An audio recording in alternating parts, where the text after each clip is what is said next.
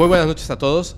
Antes de comenzar, quiero hacer este anuncio porque este programa, cuando lo estuvimos grabando, eh, hablamos de unos temas súper interesantes, súper interesantes, súper controvertidos, pero están tan controvertidos los temas y son tan interesantes que mi amigo Eric y yo nos empezamos a desviar hacia otros temas y se volvió súper ultra personal. Así que sí, por supuesto, vamos a hablar del tema del crimen, de crímenes, perdón, realizado por deportistas, pero la mayor parte del capítulo van a ser de temas como que a nosotros nos parecen demasiado importantes e interesantes, ¿cierto? Claro, porque tiene que ver con esos temas. Tiene que ver con la salud, con todo lo que hablamos esto, con toda la psique, con todos estos problemas que hemos que pareciera que no son, pero son una alerta enorme para no llegar a este tipo de cosas. Así que Así que ya saben, van a ver temas interesantísimos, pero también van a ver mucho, mucho, mucho, mucho de conversación entre Eric y yo de estos temas que nos parecen muy importantes. Disfruten el capítulo, empezamos. Bienvenidos a un nuevo capítulo de Criminalmente, donde vamos a explorar la mente de varios asesinos que se han hecho famosos previamente por ser parte del deporte y después por los espantosos crímenes que cometieron. Para eso está con nosotros mi buen amigo Eric. ¿Cómo estás? muy bien, muy bien. Aquí un poco malito de la garganta todavía, pero ni modo tenemos que traerle muy buena información y buen material, ¿eh? Desmonetizado de la garganta. Desmonetizado de la garganta, ni modos. Ni modos. Bueno, está bien. Eh, te agradezco mucho que hagas el esfuerzo. Gracias. Este, creo que va a estar, creo que va a estar muy padre este, estos capítulos porque vamos a hablar, pues, de muchas personas, ¿no? Que estuvieron ahí cometiendo crímenes y que vamos a adentrarnos un poquito. Creo que, que quisiera decirle a la gente antes de empezar y que nos digas cuáles son tus redes sociales, Claro. que en esta ocasión, como nos vamos a centrar en la historia de varios criminales, no vamos a profundizar en los hechos, no vamos a, pro- a profundizar tanto, sí vamos a tocar los puntos más importantes eh, y me gustaría que dejaran en los comentarios de cuál de estos casos les gustaría que habláramos a profundidad, Claro, ¿va? Estaría Sí. chido. estaría per- pero buenísimo. ¿Cuáles son tus redes sociales, bro? Claro. Me pueden encontrar en Facebook como Eric Urtapilleta y en Instagram me pueden encontrar como Eric-Urtapilleta. Muy bien. Y también haciendo aquí este un poquito de, de anuncio, estuviste, grabaste con eh, Emisiones Podcast. Emisiones Podcast Así y es. con Musicalmente Paranormal. Así es, estuvimos en en vivo.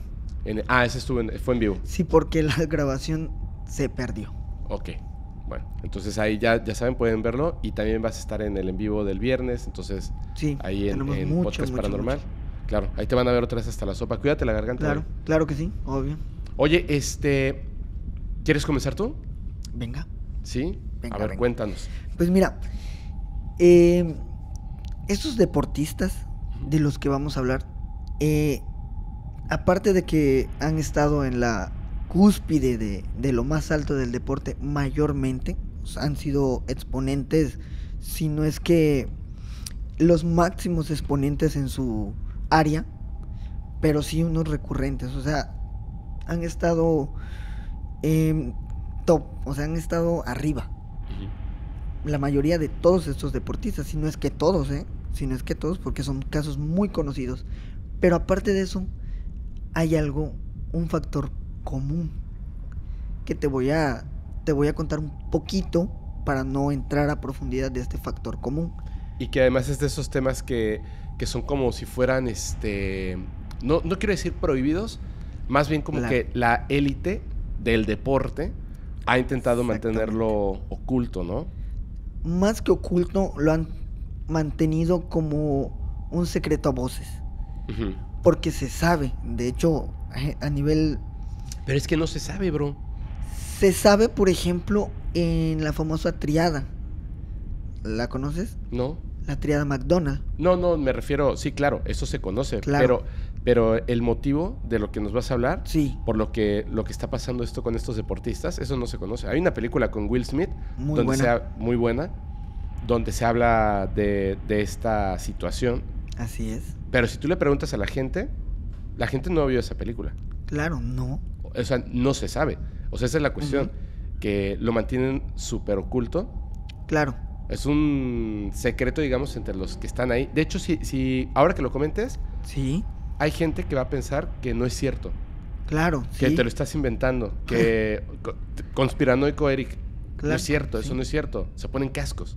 Sí, pero esta es una realidad porque no es un, no es un problema de, de, digamos que no es un problema inventado, pues, porque es una enfermedad. Es un, una Es un enfermedad. padecimiento físico, Es un padecimiento físico que deriva en una enfermedad degenerativa en el cerebro. Debido a que mayormente estos deportistas están expuestos o su deporte en el que destacan son deportes de contacto físico extremos y fuertes. Eh, te puedo poner ejemplos claros, el box, eh, deportistas como futbolistas.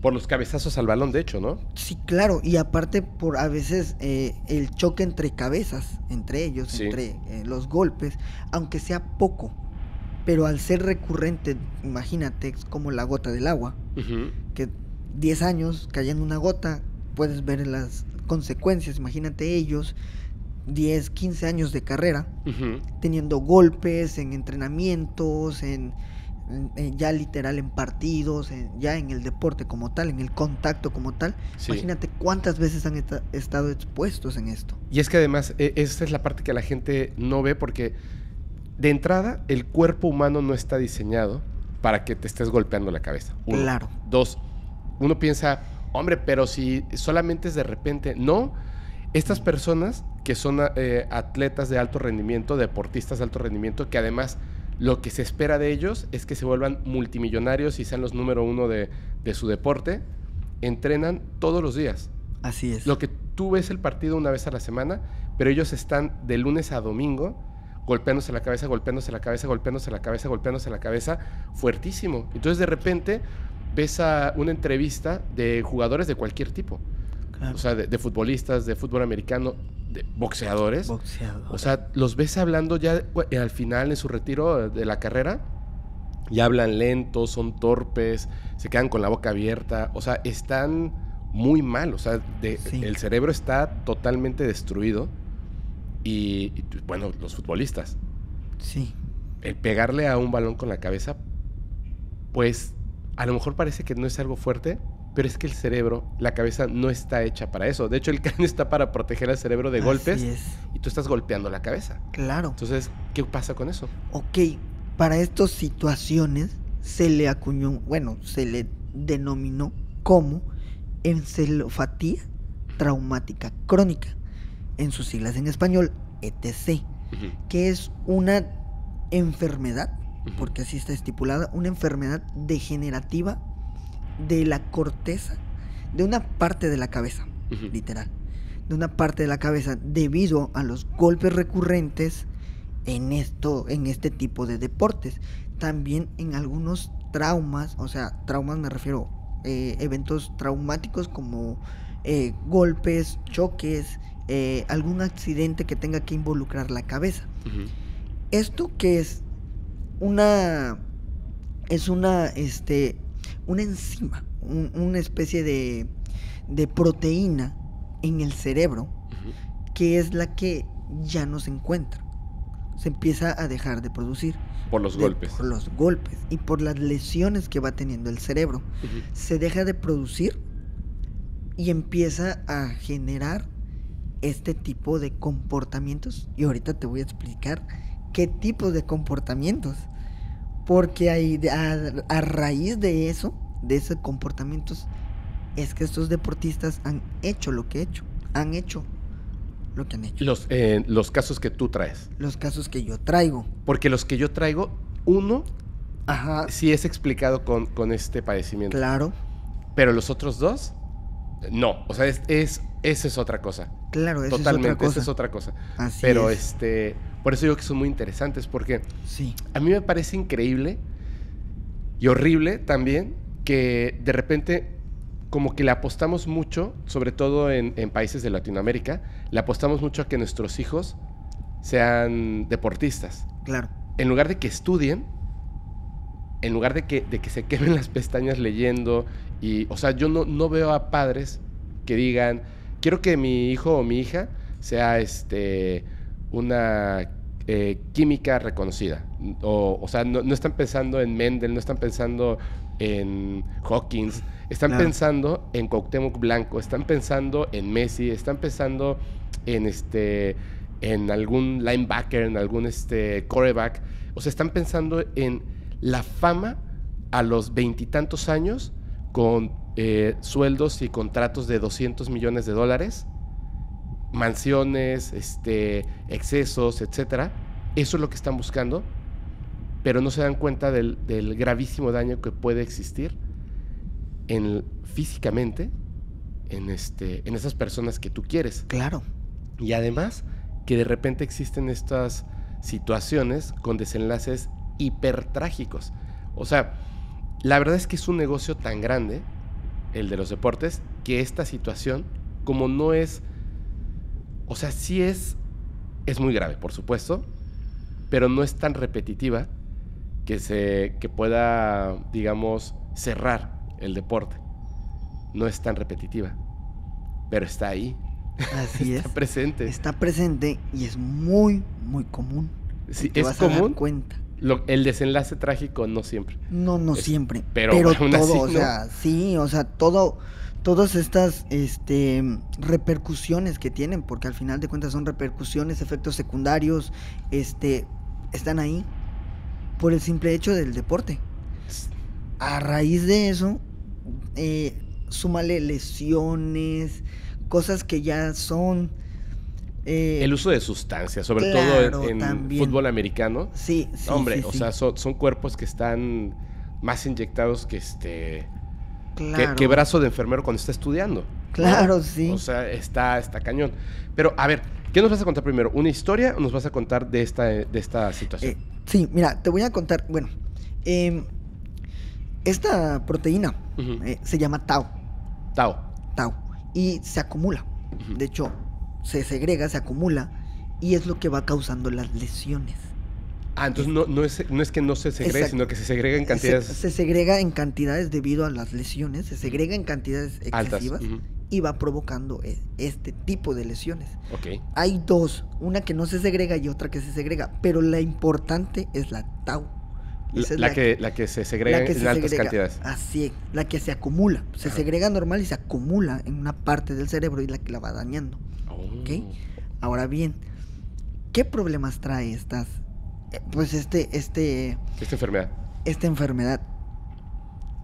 Trae primero uno de los síntomas es el, el, como el, este parte motriz y del habla que hemos visto tanto en, en boxeadores sobre todo, que están hilando, no pueden hilar ni siquiera algunas palabras. O sea, y no, a veces yo, yo no lo veo a, a chiste. Por ejemplo, eh, este, no sé, algún boxeador, por ejemplo, el caso que tenemos aquí en México, este, Julio César Julio Chávez. César Chávez. Sí. se escucha, no es que él hable chistoso, no, o sea, es una repercusión de tantas cosas que ha tenido y de hecho se le nota en el, en el rostro. Sí. No sé si alguna vez has visto la frente de algún luchador. Sí. Están terribles. Esos pequeños cúmulos podrían ser esto que te digo. Aparte de lesiones ya en la piel. Sí, son, ¿Me son lesiones externas. Son ¿no? lesiones externas. Pero imagínate, una lesión, lesión ex- externa que también puede afectar parte interna. Imagínate, aparte de eso, los cambios emocionales. Mucho. Estar de repente en un estado eufórico y pasar inmediatamente a un estado terriblemente mal. O sea, estar triste, estar inclusive violento, que ahí es donde llegamos que uno de los efectos de este de esta encefalopatía es el grado de violencia que llegan a generar. Y es que además, a ver, por ejemplo, con todo respeto para el señor Julio César Chávez, que además yo lo admiro muchísimo. Hombre, o sea, me acuerdo de chiquito hasta comprar el, el juego de Super Nintendo. Claro, Eh, el tema está que después, cuando te digo, porque la gente no sabe que está esto, así es. recuerden cuando en algún momento en televisión, ya que se había retirado Julio César Chávez, fue noticia porque metió eh, las cámaras de televisión a su casa diciendo rompió una pared diciendo que le habían puesto brujería allá adentro. Digo, igual y sí, ¿no? Igual y sí le pusieron brujería. Claro. Pero no, no llevas a la televisión a tu casa, no destruyes una pared y, y lo haces así como público. Pero no se da cuenta. También en aquel entonces, porque creo que ahora ha mejorado bastante con el Sí. tiempo, ¿no? Sí, claro. Recuerdo que lo, lo entrevistaban y no podía hablar. Sí, Recuerden a, a Maradona, así es. que era, eran dos cosas. Obviamente el, El abuso de eh, el abuso de sustancias. sustancias y los golpes. Así es. Y, y hay memes, o sea, hay memes porque el señor no podía hila- hilar una palabra después de otra, no podía terminar una frase, no podía comenzar la frase. Se- le decían eh, una pregunta al reportero y se quedaba... Sí, eh, ay, no, Mohamed Ali. Claro, Mohamed Ali, imagínate. O sea, so- son, son deportistas en, en esto. Y ahora voy a lo siguiente. Una patada de un futbolista, el golpe de un boxeador, aunque esté retirado, es brutal. Entonces, Así una es. persona que no puede controlar sus emociones porque está enfermo, está lesionado cerebralmente, y de repente se le mete una idea en la cabeza porque está enfermo, y tu cara es la que va a recibir el puñetazo. Claro. No manches, o sea, es peligrosísimo. Además de eso, ellos, en este caso los boxeadores o los futbolistas, entrenan años para poder hacer eso. Un golpe de un boxeador. Entrenan Aunque- para saber hacer daño. Claro, porque para eso está. Un, un- un futbolista entrena para poder llevar un, una resistencia increíble en el cuerpo, Y- una velocidad. Y por ejemplo, y les voy a poner dos casos y vamos a poner los videos y tengan cuidado con eso. Claro, venga. El, el Piojo Herrera, cuando era futbolista y una persona que también lo fue a, a violentar. Claro, Pero uno sí. tiene que estar en control de sus emociones. Así es. Obviamente no se puede en estos casos. Lo va a violentar una persona y le cayó a patadas. Cuando iba a ser entrevistado Miguel Herrera, uno de ellos llega y provoca al jugador atlantista, quien también, claro, pierde la cabeza y contesta de esta manera. Sí, Una patada de esas te rompe los huesos, o sea, te destruye. sí, claro. Otro, el portero de, de- del Cruz Azul, que había sido, este, ¿cómo se llama? Que empiezan Chuy a pelearse, Corona. Chuy Corona, Sí, y que le mete un cabezazo a una persona. Esa cosa te, te- te puede romper el cuello, la quijada, o sea, es, Claro. es un golpe brutal. O sea, son, son ejemplos de que, ay, es que, pero el portero qué tan fuerte te puede patear. ¿Qué? entrena toda su vida para eso. Está entrenando todos Claro. los días. Mira nomás de dónde patea la pelota hasta dónde llega. Claro, claro, por supuesto, los puñetazos, un cabezazo, son personas que, que tienen un, un físico impresionante y además están entrenados para conectar más fuerte cualquiera de esos golpes, Claro. patadas, eh, de alguna manera u otra, pueden llegar a ser muy peligrosos. Ahora bien, ahí tocaste un punto que esta enfermedad desata también, la impulsividad, el no control de las emociones. Ajá. Porque una cosa es estar depresivo y otra cosa es estar impulsivo, Ajá. muy diferente. O sea, ellos no controlan esas emociones. Y pueden estar en cualquiera de los dos rangos. Y pueden y viajan literal de un rango a otro así a la velocidad de la luz. Es la historia pues. que te voy a contar. Claro, Uno es así, literal. sí, estaba aquí y de repente estaba ahí en otro estado y así Regresa. O sea, y es increíble. Pero todo esto es derivado a estos daños físicos, emocionales. Además de esto, súmale depresión, impulsividad y agresividad. Ujú. Vuelvo, ninguna de estas tres es la misma. Sí. Porque puede ser impulsivo para ir a recoger un objeto. Ah, ok, voy y me levanto. Eso es una impulsividad. Una depresión es un estado emocional. Está triste, está alegre, pero es una parte de. Pero la agresividad, de repente estar, imagínate, depresivo y tener el impulso y encima que el impulso sea agresivo. Imagínate un, un beisbolista que se Es- enoje y agarre y tenga algo en la mano.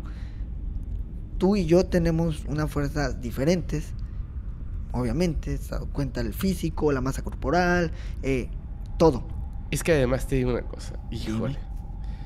Si a eso le, o sea, le sumas, son, es una suma de cosas que por matemáticas simples algo tiene que pasar, algo tiene que reventar. Sociedad, Estados Unidos o México, Latinoamérica, donde se, se idolatra a las estrellas del deporte. No tiene nada de malo, o No. sea, no tiene nada de malo, pero hay una parte donde ya deja de ser sano, la idolatría hacia un deportista. Uno. Claro. Dos, Por ejemplo, Estados Unidos, tú puedes entrar a un supermercado y comprar un arma al momento. Claro, Ponle un arma en las manos a una persona que no puede controlar sus emociones. así es. Eso es, eso es terrible. Dos, el abuso de sustancias. En Estados. Unidos es, es una cosa bárbara. O sea, tienen una epidemia por el abuso de sustancias en todos los niveles, desde Tú- niños hasta gente de la tercera edad. Claro, tuvimos una plática de eso. Tuvimos una- una plática un de almuerzo y llegamos a una conclusión que yo no, yo no sabía, pero estaba muy buena. Ajá. Está increíble. ¿La conclusión? Sí, la que Sí, me diste, la sí. que yo te dije, no, esto y esto, y me dijiste, sí, pero ¿sabes por qué? No, y luego, claro. wow, tienes razón. Está, está terrible. Y por ejemplo, en México, la corrupción. Claro, Entonces, e- es que de verdad, si tú cometes un crimen, por ejemplo, te pasas un alto y eres Juan Pérez, así, tal cual, te van a o te van a sacar dinero o te van a poner la infracción, sí o sí. claro. Pero si eres una modelo, no lo va a hacer el policía porque No. porque es un depredador también. Claro. Peor. O sea, es terrible esto. Y, y lo siento, pero es que así es en México. Lo siento mucho. Claro, hay Ojalá muchos no fuera ejemplos. así. La mayoría, no digo que todos los policías, por Así supuesto. es, claro, no, no. Oficiales y hay personas y policías que son súper honorables.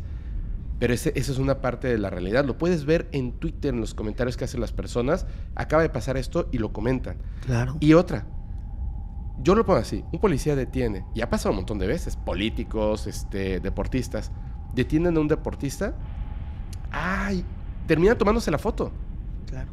La termina tomándose la foto. Eso, eso también es, es parte de la corrupción que existe en Latinoamérica, porque idolatran a estas personas. Idolatran la cantidad de dinero que generan, idolatran lo, lo que puede hacer en la cancha, idolatran la pasión que genera en las masas. En- eh, vuelvo a esto. Yo, me- a mí me gusta mucho el fútbol, lo juego re mal, pero me gusta mucho el fútbol. Pero hay un, hay un punto donde uno ya debe de cuidarse de qué tanto estás perdiendo la cordura por una simple idea que además no tiene sentido.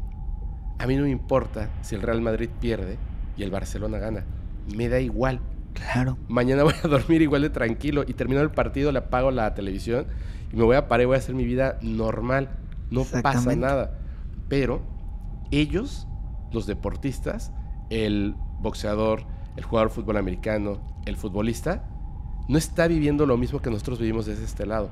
Ellos reciben esa idolatría, esa presión.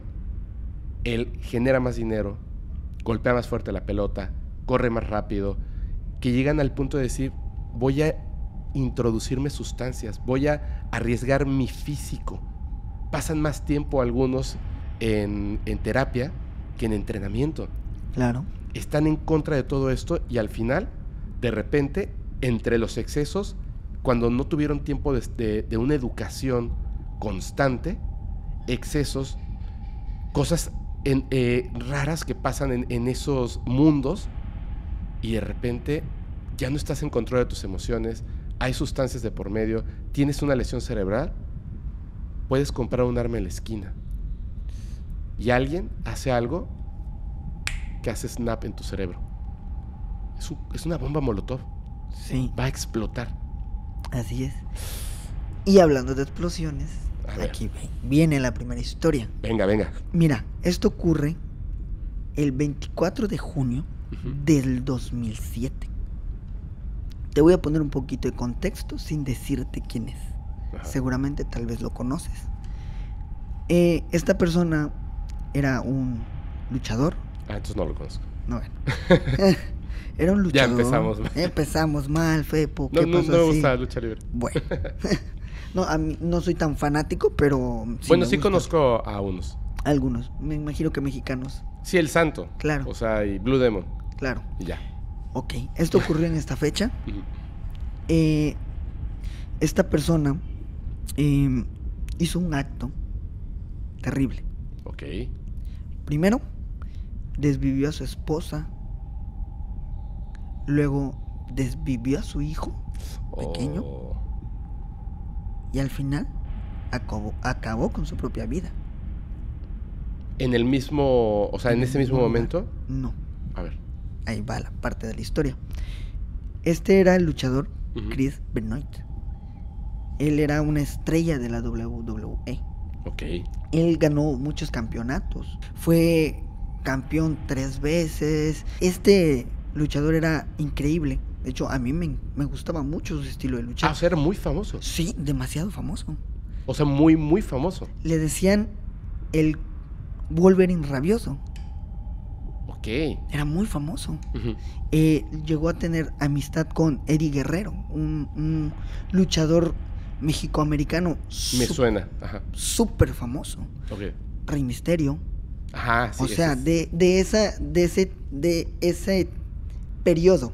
Pero el Rey Misterio no, ya no pelea. No, actualmente ya no. Ah, es que hay uno que es Rey Misterio Jr., ¿verdad? Claro. Que es sí, el que sigue peleando, según el yo. que sigue peleando. Ah, ok, ok. ya. Rey Misterio este fue el que desvivió sin querer al perro aguayo, al hijo del perro aguayo. Espérame, espérame, espérame, espérame. Venga. El papá del que pelea hoy Rey Misterio Jr. No, es que se ponen el nombre Rey Misterio. No, Ah, no es su papá. inclusive no puede ser, no, no es su papá, solamente a veces de nombre. Ah, ok, bueno, el Rey Misterio original Sí, desvivió a otra persona sí. en. en... En una lucha. ¿Sin querer? Sí, lo que pasa que, bueno, eh, Perdón porque hice ese paréntesis, Sí, pero yo, es que claro, yo no ¿no? sé nada de lucha libre. entonces- perfecto. Estaban en una lucha, no recuerdo muy bien esos detalles, pero Ajá. estaban en una lucha, en una arena, y Rey Misterio y. Rey Misterio y el hijo del perro aguayo, que es famoso. ¿Qué era el nombre o si era el hijo del perro aguayo? Sí, él sí era el hijo del perro Ah, ok, aguayo. ok. Te digo porque hay veces se ponen eh, la parca Junior, por ejemplo, y no tiene nada que ver con la parca, no es su hijo. Ah, ok. Pero, en este es el caso nombre. sí. El En hijo este del caso, perro sí. aguayo estaba peleando contra el Rey Misterio. Así es, contra Rey Misterio, No, en México. en México. ¿Y, qué pasó? En una llave famosa esta de, del perro, de, perdón, de Rey Misterio, Ajá, que es entre las dos cuerdas da una patada. ajá. Bueno, hacen una serie de llaves, están peleando y de repente hace su llave famosa. Desde que cae, el- O sea, lo golpea a Rey lo Misterio? golpean Ah, pero al perro. al perro aguayo y él cae entre las dos cuerdas. Entre, Ajá, entre no recuerdo cómo van los órdenes de arriba abajo, pero cae en medio, ajá. en las dos cuerdas, en medio. Su cuerpo cae. Y en eso le, da, le aplican esta, esta famosa patada de Rey Misterio Ajá. y cae el perro aguayo. Pero en el momento del, de él... Caer. No.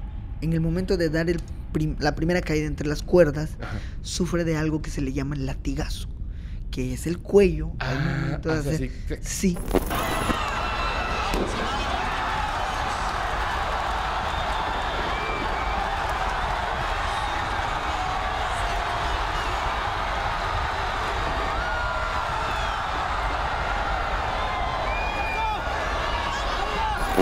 Obviamente, imagínate hablando de todo esto, las lesiones y todo esto, años de estar exponiendo el físico, al momento de recibir el segundo impacto, pues, ya él ya estaba, o sea, ya estaba lesionado y al momento de seguir el, el siguiente impacto, el siguiente impacto, pues ahí perdió la vida. O sea, lo voy a decir en mal, o sea, no en mala onda, pero como dice la frase, lo, eh, es- lo mató y lo remató. Sí, O sea, ya estaba. mal y pum. Sí, ya está. Ay, híjole, ok. Te voy a mostrar el Y entonces lo patea lo patea ahí, pues ya y ahí. cae. Y, y se da cuenta inmediatamente cuando lo patea. No, nadie se dio cuenta No porque no, reaccionan. De hecho, tardaron alrededor como de cinco minutos porque él cae en la lona y están hablándole, hablándole y en lo que llega no había un médico. O sea, todo esto tal, vez, No tal vez se pudo haber evi- evitado. Algunos casos dicen que no, otros que sí. Pero al ser una lesión tan delicada, no, no te puedes dar un dictamen tan certero. Pero igual ¿no? fue como un mal golpe, ¿no? O sea, digo, eh, eh, no, obviamente no era la intención de nadie No, lesionarlo. claro, para nada. Sobre todo porque es como una coreografía. Sí, es Digo, que- durísima, ¿no? Sí, dura. pesadísima. Sí. Pero supongo que el latigazo fue sin querer y obviamente el Rey Misterio que iba a saber y Claro. soltó la patada, ¿no? Así es. O sea, Wow. fue como un accidente, pero en el momento no se ve como accidente porque él intentó, o sea, está luchando y pues, Pues sí, tenía claro, a su rival. claro. Pasa esto y pues cinco minutos después, Ya, o sea, adiós. adiós. Chispas, qué feo. Qué feo. terrible, terrible. La verdad, yo hasta lo lloré porque pues yo sí soy fanático de las luchas. Oh, ok. O sea, tengo una historia, los domingos con mis papás nos sentábamos a ver luchas. ¿En serio? Sí. Una bonita. Después de eso, eh, terminaban las luchas 3, 4 de la tarde en un canal de televisión, no sé si se puede decir, Sí. Galavisión. ¿Galavisión? Terminaba y ¿qué crees que era lo que seguía? ¿Qué? Tercer misterio, tercer milenio. Ah, sí, cierto, pasaba antes de Sí, la después inmediatamente. Y mi papá en ese momento empezaba, iba por la comida, lo que sea para picar mientras trabajaba y ahí estábamos. Yo Ese sabes qué, qué veía con mi papá? ¿Cuál? Nada, pero no está. Ah, no. Qué bueno. Yo veía Tercer Milenio solo. Sí, no. No, bueno, ya, ¿qué recuerdo. pasó? Bueno, regresamos a la historia de Chris Benoit. Ahora este, llega, hace esto, dos días después, o un día después. Ajá. Muchos se Pero ¿en dó- rumoran dónde, dónde les quitó la vida? ¿En su casa? en su casa, en su casa, en casa. O sea, él estaba ahí Sí, y de repente dijo, de repente. tengo una idea, Claro. acabemos con nuestras vidas. Sí. O sea, no se sabe realmente ni qué pasó. ahí. Muchos dicen que hubo una pelea y todo, pero pues no había. Probablemente. probablemente, pero no había un, rasgo distintivo, ¿no? Cosas tiradas y todo. Sí había cosas, pero como de desorden de, de casa normal, ¿no? O sea, pero no había un, un desorden como tal. Ok. Llega, desvive a su esposa, desvive a su hijo, se quita la vida. Y era su hijo estaba chiquito. Su hijo estaba pequeño. Ay, qué horror. se desvive. Eh, pero en esto, él le manda un mensaje a un, a un luchador. Él se tenía que presentar a una fecha. Espérame, antes de que él se quitara la vida, le manda un mensaje a un compañero luchador. Sí, le dice que no va a poder viajar a presentarse en esa función. Ajá. Pues cancelan la función. O sea, no cancelan la función, cancelan su presentación. Pues no se presenta. eh, pues su compañero se queda como que raro porque... O sea, no, le da explicación, solamente le dice no voy a ir. Sí, simplemente no voy a ir. De hecho, muchos dicen que hubo llamadas, mensajes, pero hasta donde se sabe realmente, porque te voy a, te voy a contar algo. Ajá. Al buscar esta información, como todo este tipo de cosas, las grandes empresas y corporativos, pues decidieron Esconder esconder todo esto. todo, ¿no? Porque fue un tema sonado, debido, que es lo que estamos comentando, porque mucho dinero de por medio. Y él sí tenía esta condición, el CT. Sí, Mm. él tenía esto, que es ETC. Ah, en ¿Cómo la español es ETC, ¿no? En inglés es, en español es ETC, pero en inglés sí es. es ST, correcto. ¿no? CT. ST, sí. Este, pues pasa esto. De hecho, hay un evento que es como que el que se hizo, lo hizo más misterioso, Ajá.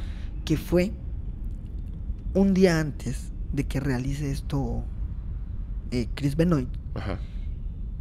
entraron al perfil de Wikipedia e editaron el, la biografía y pusieron como fecha de fallecimiento el día que ocurrió la masacre.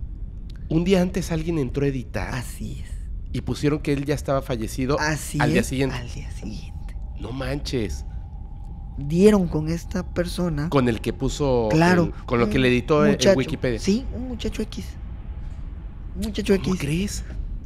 Sí, Pero espera, no, no puede ser un muchacho X. sí, un muchacho que era fanático de la lucha libre. ¿Y por qué hizo eso? Nada más. ¿Se le ocurrió? Es lo que se ¿Neta? sabe. Te lo juro. Es lo que se sabe. Por eso es ahí donde dicen que eh, entra la, conspira la conspiración. Por ese tema, que lo mandaron a desvivir, en fin, bla, bla, bla, cosas así. No, pero, pero si, lo, si lo mandas a desvivir, no, no pones este. O sea, no. No dejas una evidencia. Claro. En, en- aparte en internet, en la Wikipedia. Así es. No dejas una evidencia. Pero pues ya, muy... Te voy a decir algo. Cuéntame. Y voy a meter el tema paranormal. Lo siento mucho. Yo sé que aquí estamos en Sí. criminalmente. Pues Tú traes la playera de paranormal. El, estaba viendo un video, no me la creía. ¿De qué? Pero sí era- es real. De cuando eh, fallece Cepillín, el payaso. Ok. Unos meses antes de que falleciera, unas personas, creo que tienen un, como un podcast o un programa, no sé muy bien así, lo están entrevistando, están platicando con él. Y él dice, eh, no recuerdo muy bien las fechas, pero vamos a ver el video. Yo le he dicho al público que a los 50 años de, de payaso me voy, me retiro, y a los 75 de edad, faltan dos años, me voy. Dos años cumple 50 años de payaso. No recuerdo muy bien las fechas, lo que dice, y comenta que cuando, cuando llevas X, una cantidad de tiempo retirado de payaso, ya, te tienes que... Ir. Sí, ya, o sea, fallecer, punto. Entonces le dice, ¿cómo crees? Y dice, sí, de hecho yo ya estoy a punto de cumplir exactamente esa fecha. Creo que son. Cuando llevas 25 años de payaso, ya, se acabó. O Wow. 50 años de payaso, una cosa así, ¿no? Y le dice, entonces, yo ya voy a cumplir en, en dos meses. Yo ya cumplo eso, entonces yo ya me adelanté y ya me despedí de todos mis amigos. Porque. Y todavía le dice, como de broma, ¿no? Sí, porque ya vas a llegar a esa fecha, ¿no? Algo así. Sí, entonces yo ya me despedí. Y llegó esa fecha, seis días después, fallece. O sea, él predijo su propia muerte. Claro. Entonces, y esta, esa situación ocurre muchísimo. En mi familia, una persona, que, que no voy a decir su nombre, desde que estaba chiquita, decía, yo me voy a morir a esta edad. Uf. Ya lo sabía. Y a esa edad fallece. Y hay un montón de, de datos de ese tipo que se- pasan como curiosidades. Claro. Pero es que no puede ser una casualidad que en una historia así de trágica, una persona que no tiene nada que ver, simplemente un fan, o sea, de repente diga, voy a, voy a modificar en Wikipedia, porque cuando modifican la Wikipedia con este tipo de situaciones, Sí. es por otra razón. Claro. Cuando Hugo, en la serie de Lost, eh, supuestamente escribe el guion de la película de Star Wars, porque regresan en el tiempo en la serie, perdón por el spoiler, Claro. cuando se estrena el capítulo, hubo gente que entró a editar la Wikipedia, donde estaba el, lo- el nombre de los escritores de la película de Star Wars, Y le pusieron el de él. agregaron a Hugo. Claro. ¿Me entiendes? Sí. Pero hay una razón, hay un motivo, hay una broma. Aquí no, no, no. O sea, no, No. puedo creer que simplemente alguien se levante y diga, voy a poner que mañana fallece tal persona. ¿Me entiendes? Sí. Es y, que, y que pase. O sea, es, es un misterio muy misterioso, lo siento. Claro, no, sí, estás en todo, Es lo, muy raro. todo lo correcto. Yo no quise ahondar en este, en este dato porque, o sea, hay poca información de esto. Obviamente lo quisieron ocultar. De hecho, a Chris Benoit se le hizo el conmemorativo y ¡pum! Bajado de todo. Como borrado. Como borrado de la historia por el antecedente del ETC. Y si había. Y si, ah, o sea, la idea está. Perdón por el babazo. Perdón, la idea está en que lo desvivieron porque se dieron cuenta de que tenía ETC muy avanzado. Probablemente pudiera ser. Esa es como la teoría de conspiración. es una de las teorías de conspiración o por algún otro dato que te repito, la información es muy poca, tú puedes buscar todo, pero no te hablan del ETC. E- Es lo que te digo. Sí, Por no eso la hablan. gente no sabe de Así esto. es, no te hablan del ETC. Wow, ok. Pero por ejemplo, en en en este tipo de desvividores seriales Ajá.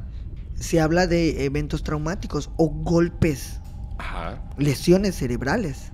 ¿Me explico? Sí. que es lo mismo que esto. Obviamente no, a- no al mismo grado, Claro. porque es repetitivo y es congénito, perdón, es crónico, este, degenerativo, a diferencia de algo traumático, eh, en, o sea, en el momento, pues. Pero pasó. Y muchas teorías conspirativas apuntan a esto. De que probablemente pueda ser.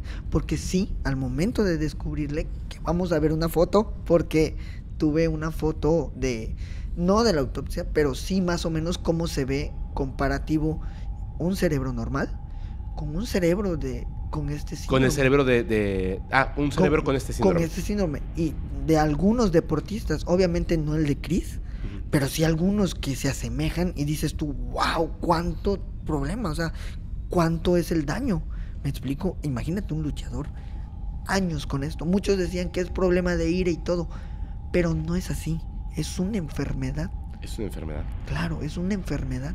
Y entonces, Y pues empieza, a- o sea, se investiga, se hace todo, se llegó a su casa, se da carpetazo y se acabó. adiós, y bajado de todo. Y, ¿Tú y- crees que, tú, tú crees que, por ejemplo, eh, los, los empresarios dueños de, de estos deportes, de estos equipos, por ejemplo, de la WWE, que, que es una de las personas más ricas de, de Claro, Estados Unidos, sí. un ex luchador, ¿cierto? Así es. Eh, WWF, etcétera. ¿Tú crees que debieran de tener, por ejemplo, una responsabilidad hacia la familia de Chris Benoit por lo que ocurrió? Claro, pero pues ya, ¿qué familia? Sí, su esposa y su hijo también. O sea, pero Bueno, a las sus demás, padres, los que quedan, claro. este, la familia de la esposa. Deberían porque es, es como, Yo creo que por eso, por eso es que está toda la teoría de conspiración. claro, por todo este rollo, este asunto, el asunto secundario, pues. Porque, o- imagínate, eh, en el caso de fútbol, se ha llegado a un acuerdo que cuando un deportista choca de cabezas, inmediatamente tiene que ser relevado y se tiene que llevar a un hospital. Sí, yo he visto Claro, sí. golpes fuertísimos. Horribles, yo... Cabeza contra cabeza horrible. Sí, pues ve lo que le pasó a Raúl Jiménez. Claro, Hay un video muy famoso de un futbolista que después de un gol hace Una celebra, sí. hace una pirueta, cae mal y se se, ma- se va. se, adiós. Se desuscribe de la vida, ¿sí? Sí. Y de hecho, por ejemplo, estas muertes súbitas de jugadores. Que ha sido por el esfuerzo físico de estar entrenando y un problema cardíaco derivado a todo esto. No cerebral, pero un- un- algo cardíaco. Sí. Y que, pues, como dijiste muy bien antes, ellos se dedican, se están aquí porque buscan esa satisfacción, ese egolatrismo que la gente le da. Y a veces no de mal manera, pero sí lo buscan porque cualquiera lo quisiera, ¿no? Pero al riesgo de poner en, vi- eh, en o sea, el riesgo de poner tu vida en peligro es muy, muy fuerte. Claro, o sea, es que, es que puede ser un accidente, algo que, que simplemente se te sale de las manos un momento, Claro. pero ya están las condiciones diseñadas para eso. Igual, en, no me acuerdo en qué mundial fue, estaba yo chico cuando lo vi. Si no me equivoco, era un, un- un- el equipo de Colombia y en un partido aventó un codazo porque de- después de una jugada, cuando se acercó, le aventó un codazo, le pegó directamente en la sien y se empezó a convulsionar Sí. el, el jugador. Sí. Que creo que, espero que no, pero creo que falleció después de esto. Entonces, son situaciones súper lamentables. Y de hecho, si voy a contar una historia Venga. de, de otro deportista que tiene que ver justamente con esto de- del CTE o ETC, ¿sí? en español, ETC, ETC, ETC. ETC. Su nombre es Jovan Belcher. Y él estaba, eh, bueno, él, él jugaba. Él es un, un, este, era un jugador de fútbol americano en la NFL, la famosísima NFL de Estados Unidos. Y tiene, es de estas historias como, hmm, que me parecen súper trágicas y, ay, chispas. No debiera de ocurrir esto, pero pasa y es terrible. Jovan era, imagínate, en, en- en el inicio de su historia, ahora se le reconoce como un joven prometedor, pero Claro. en la realidad de los deportes, o sea, que son empresas de muchos millones de de Dólares. eh, de la moneda que ustedes gusten, también es, no es que sea injusta, pero por supuesto por el negocio a veces es inhumano.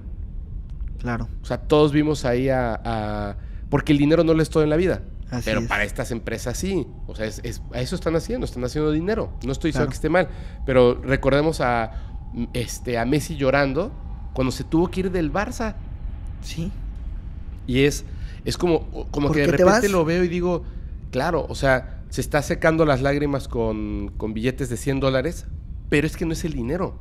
Claro. O sea, es su gusto de jugar al fútbol en el equipo donde ha estado toda su vida. Toda su y de repente te tienes que ir porque ya estás a punto del retiro por tu edad y aunque seas el mejor del mundo, eh, no nos alcanza para pagar porque hicimos malas cosas en el equipo. Adiós. Claro. Sí. Es así como de, ¿qué? Inclusive hasta gratis pudo haber jugado ese tipo. Pero no quisieron. No se puede, porque Claro. no es que no le pagues al mejor jugador Sí, del mundo, pero es, obvio. es como de, oye, es injusto, es inhumano. Y estamos hablando del mejor jugador de fútbol del planeta Así es. y se volvió una situación como inhumana hacia una persona. Claro. Porque, repito, no es el dinero, o sea, él puede tener todo el dinero del mundo, pero por las condiciones no puede jugar gratis. Uno, dos, sería injusto que jugara gratis. Claro. Y tres, pues por malos manejos ya no te puedo pagar y no me importa todo el cariño que le tienes al equipo, la pasión, tu familia que está aquí viviendo en España, en Barcelona. No me importa. Simplemente, este, oye, agarra tus cosas y adiós, Adiós. ¿no? Oh, caray. O sea, es como. Y estas cosas pasan. Pero imagínate cuando eres un jugador que ahora decimos prometedor, pero en ese momento, cuando estaba joven, cuando comienza a jugar en la NFL, te voy a dar un, un dato muy importante. Él eh, era agente libre no seleccionado en el draft. Esto significa que es así como que... "Meh, no sé ni quién eres ni nadie te quiere y bueno, ya vente para acá. Órale. Así, ¿cuánto cuestas? No, menos. Así, por no tienes ni representante porque estaba al inicio de su carrera. Él eh, nace en 1987 y juega como linebacker para los eh, jefes de Kansas City. Entonces, él comienza en este equipo, en ese equipo, firma en el 2009 con, con los jefes de Kansas City, repito, como agente libre no seleccionado. Entonces empieza a jugar y ya jugando es esa historia que, que hasta es como muy emotiva del jugador por el que nadie daba un dólar y de repente, gracias a que se quedaba a entrenar más tiempo, a la habilidad que ya poseía, o sea que físicamente ya tenía esa habilidad Claro. para jugar muy bien y la dedicación al deporte comienza a formarse un nombre, que es el inicio de todos estos deportistas famosos. Es un esfuerzo de riesgo para su vida, pero están con todo, ¿no? Y entonces rápidamente se empieza a hacer de un nombre. Resulta que cuando está en ese momento, como donde comienza eh, la subida hacia la cúspide de la carrera, la parte más importante, recuerden, él firma en el 2009. El primero de diciembre de 2012, o sea, tres años, cuando años. acabas de comenzar, no es nada. No es nada. El primero de diciembre del 2012, eh, Belcher desvive a su novia, que además era la madre de su hijo de tres meses No de su hija de tres meses. La desvive, le dispara nueve veces. Pero hay una cosa terrible. Impulsividad. La, su novia se llamaba Cassandra Perkins. Estaba discutiendo con ella y, o sea, estás teniendo éxito profesional. Tienes novia. Tienes una hija de tres meses. Estás en el momento en el que todo, todo va a mejorar. Pero le estás exigiendo demasiado, demasiado a tu cuerpo. Estás golpeándote demasiado la cabeza. Demasiado. Y él tenía esta condición, etc. Sí. Que después se descubre. Repito, en un lugar como Estados Unidos donde puedes ir y comprar un arma, se cae un arma en un hogar donde hay una niña de tres meses. Claro. Del- está al lado de las sandías en, el, en estos supermercados. Sí, Sí. toma el arma frente a su suegra. Le dispara en nueve ocasiones a su novia, Cassandra Perkins. Esto ocurre en Kansas City. Después de dispararle, de la discusión, de la situación tan terrible, no me imagino el, el terror de lo que pasó ahí. En ese momento, él toma su automóvil y se dirige al centro de entrenamiento de los Chiefs frente al estadio Arrowhead. Ahí está el centro de entrenamiento. Acaba de, de ocurrir el, el incidente, se sube a su coche, conduce y se va al centro de entrenamiento. Cuando llega ahí, está Scott Pioli, que es el, el el gerente general del equipo, junto con otras personas que trabajan ahí, y lo ven llegar totalmente... Ido. Sí. Sí. O sea, la persona está mal, Fuera de sí. totalmente fuera de sí. Acelerado, deprimido, explosivo, y no lo pueden controlar. Tratan de controlarlo. O sea, ya él les acaba de decir lo que acaba de pasar. Tratan de controlarlo, tratan de controlarlo. Imagínate una de estas personas que está en ese estado, con el arma en la mano, con la que acaba de matar a su novia de nueve tiros. Y es- están tratando de controlarlo, por favor. Yo me imagino que están en ese momento temiendo por su vida y lo que está pasando. Y mientras está en esto, de repente, él lo que quiere es hablar. Quiere hablar. Y les dice lo siguiente. Les agradezco por ayudarme a cumplir mi sueño de jugar en la NFL. Toma el arma y se quita la vida. Uf. Ahí, frente a estas personas. Dejando a su hija de tres meses huérfana. Pudo haber sido una historia de estas que idolatramos de deportistas. Fue una tragedia. Por supuesto, él tenía encefalo- encefalopatía traumática crónica. etc. Claro. etc. El factor común. Es una historia, digo. es una pesadilla eso. Y no se descubrió hasta que llega la autopsia, como en todos estos casos. Así es. No se descubre hasta que ya pasa algo. Hasta que se desvive el, el, ¿cómo se llama? El deportista, o hasta que, pues, Comete un crimen, una tragedia horrible. o algo, y tienen que buscar algún, y se dan cuenta con esto. Es el factor común, que se puede evitar, claro que sí se puede evitar. Y para los comentarios que digan, pero utilizan casco, por favor vean la película. ¿Cómo se llama? La verdad oculta. La verdad Uy, oculta. En español se llama La verdad oculta. La verdad oculta. La verdad imagínate. Y de este caso no solamente hay esta, hay otra película. ¿Cuál? No recuerdo el nombre, pero es de un futbolista, que tiene, un futbolista americano que tiene este problema. ¿Ah, sí? Sí, Y también hay, ahorita que estabas hablando de, de, por ejemplo, de la lucha libre, sí. hay una película, pero excelentemente así ejecutada.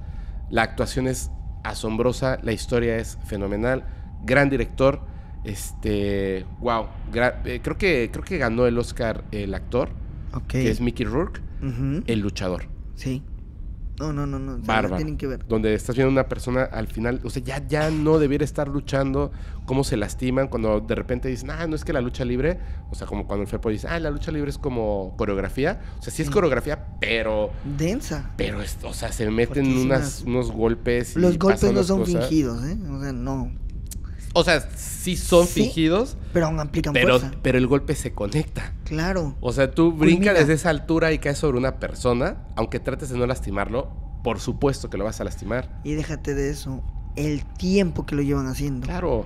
Años, 10, 15, 20 años. O sea, a ver, golpea a alguien con una silla de metal. Claro. Manches. o sea, obviamente no lo hace Bart Simpson contra Homero, Sí. sí, imagínate. que se le rompe la espalda. Sí. Por es supuesto. Terriblísimo. Y ahora, A ver, cuéntanos otra historia. por venga, favor. pero esta te va a gustar mucho. A ver. Porque entra un tema, podría llamarse paranormal Ah, caray. o no, Ojalá. Digo, no, ojalá no, porque es un crimen, pero a ver. pero te voy a contar. A ver. Esta historia es en México. Uh, Nuevamente, factor común, un luchador en este caso, otro luchador, ajá. ¿de acuerdo? Este, yo personalmente es de mi luchador favorito, ¿Lucha, lucha libre también? lucha libre. Ajá. Personalmente tengo tres luchadores mexicanos favoritos, Ujú, o sea, tengo muchos más, pero estos son los que marcaron mi infancia, eh, que es, te voy a decir, la parca, Ok. la parca cibernético, a pesar de que es rudo. Ajá. Y este luchador que es el número uno para mí. ¿Quién y- es? Ahorita te voy a decir. Ajá. Que de- no es broma. O sea, cuando supe, me salieron mis lágrimas. De verdad. Imagínate. Has llorado mucho por la lucha libre, Eric. Pues me gusta mucho. No, sí, yo sí lloro. O sea, me ven así como el enfermero maldito, pero es el enfermero maldito y llorón. O sea, no, hombre. Eh, imagínate que terminas tu lucha, Ajá. termina tu función, te, pues, el, los- el representante, o los managers eh, que se encarga de esta lucha, te dice, oye, pues te pago tus vuelos y te vas. Y decides irte en autobús. No hay problema, me voy en autobús. Al cabo tengo otra función en otra. Que también eso cuenta mucho. Porque no es una función de un día. A veces son 3, 4, 5 días que estas personas están luchando. Durante. Pues durante estas giras que hacen. ¿no? O sea, ¿el mismo día luchan dos o tres veces? No. en algunos casos. ¿O te sí. refieres a qué diario están luchando? Ajá, diario. Ah. Aparte de entrenamientos y todo. Por ejemplo, la función a las 6 y luego vuelven, tal vez algunos vuelven a luchar a las 10 de la noche. No sé, en algunos casos, porque sí pasa. Eh, termina tu lucha, vas a tu transporte, subes en plena carretera, una carretera oscura y terrorífica. Tienes un ataque de ansiedad. Uh, estás mal, muy mal. Tus compañeros luchadores que están ahí te tratan de calmar y lo logran por un momento. En eso, el chofer abre la puerta y por algo inexplicable sales corriendo y te internas en el bosque, bueno, en el O monte. O sea, él se, se empezó a sentir mal. Se- le dio se- un ataque. De un ansiedad, ataque le dio un ataque de así ansiedad. es, Sus amigos eh, lo, lo ayudan a calmarse. sí, El chofer se detiene porque lo ve mal. sí. Y él sale corriendo. Abre la puerta para, pues, me imagino, para. sí, para que bajen aire algunos aire. A tomar agua o algo, lo que sea. Y lo primero que haces es Correr. bajarte e irte al monte Ok. y no te encuentran. Hasta el otro día en una zanja, Ajá. ahogado. muerto. Esto que te cuento le pasó a Andrés Alejandro Palomeque, un luchador conocido como Abismo Negro. Ay, güey. Un luchador que de verdad él era un referente de la AAA. Ajá. Un muy buen referente. Imagínate, tanto, tanto era el carisma de esta persona que salía en la tele. En programas como Se Vale, en capítulos como en La Familia Peluche. En- obviamente hay otros luchadores, ¿no? Pero él marcó un hito saliendo en un programa. En muchos. Era un carisma inigualable, a pesar de que era un rudo. Ajá. Un rudo, rudo, rudo, de los rudos, de los que se le llamaba rudos de verdad de la lucha libre. Él estaba mucho tiempo metido en esto. De hecho, a él se le conocía como el rey del martinete. ¿Es un movimiento? Un movimiento ilegal y prohibido en la lucha libre. Él, imagínate, para nombrarle el rey del martinete lo ejecutaba a la perfección. ¿Pero qué es el martinete? Ok. Es una técnica de lucha en la que colocas las piernas de tu adversario aquí, cuen- el cuello o la parte de la cabeza, el torso, la tienes aquí. Y lo que haces es colocar la cabeza entre las rodillas.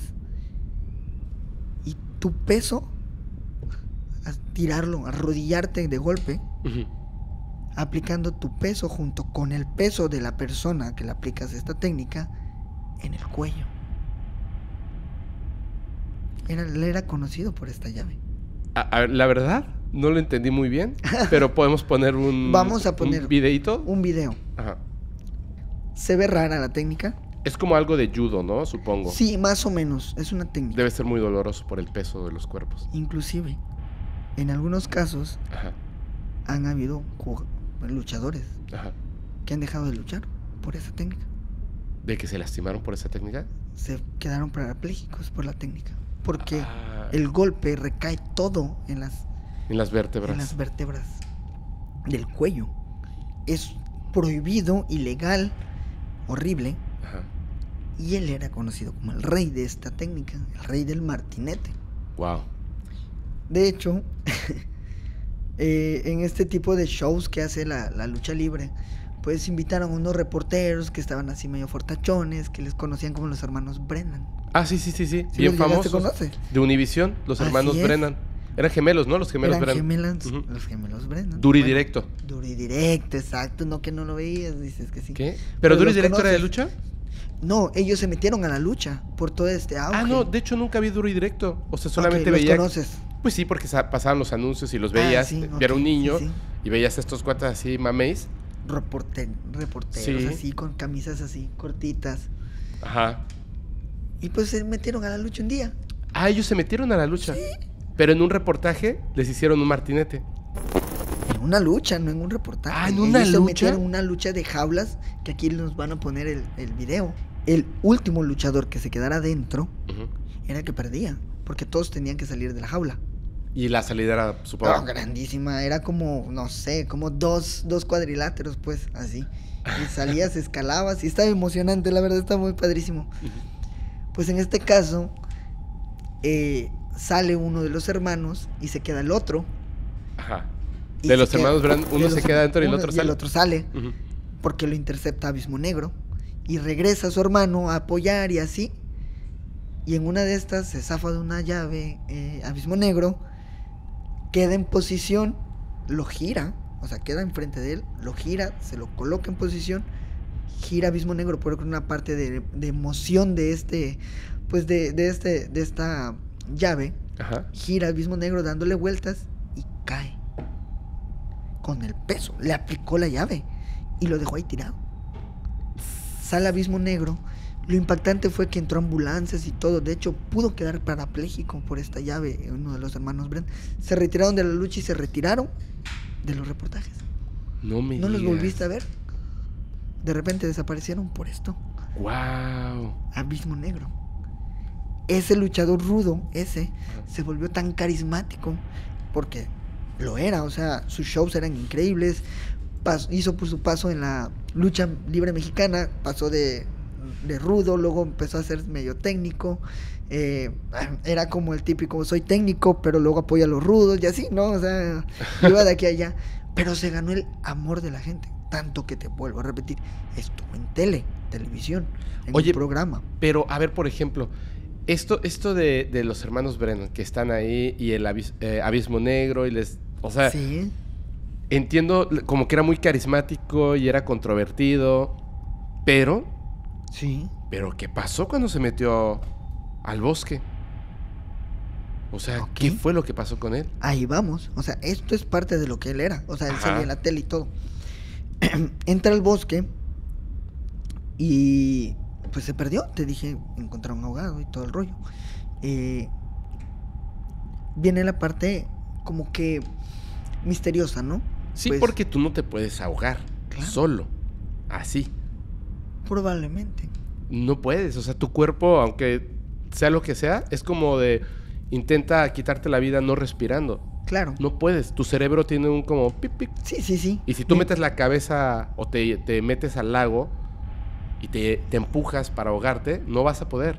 Claro, pero, pero, aquí viene algo que fue lo que te cuento, que viene como que... A ver, Ah, ah, ¿no? por eso quiero saber qué, cuál es el misterio ahí. Eh, muchos dicen que le pudo haber dado un, ataque, un ataque de ansiedad. Ajá. En ese momento, pues por la desesperación y pues ahogó. Pero no se puede, esa es la cuestión. Bueno, a ver, ajá. O sea, te- tú te puedes quitar la vida de muchas formas, Sí, pero no ahogándote en un lago. claro. No, no. O sea, por decisión, ansiedad, No, lo que de- sea, no, no, no, no. no puedes. Ahora bien, 11 años después Ajá. de que ocurrió esto, 11 años después, hubo, o sí hubo, porque ya falleció, un comentarista Ajá. de la lucha libre conocido como el Rudo Rivera. Ok. Él tenía como un canal de YouTube Ajá. informativo y todo, y él dio a conocer una noticia que involucraba al luchador, Ajá. Abismo Negro, Ajá.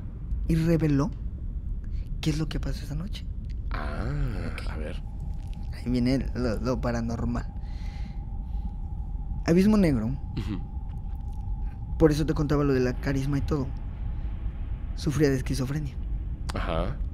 Tenía un problema. Obviamente pudo haber sido derivado a esto de las luchas. eh, pues se pudo haber descu- descubierto que pudo haber tenido esta enfermedad de TC.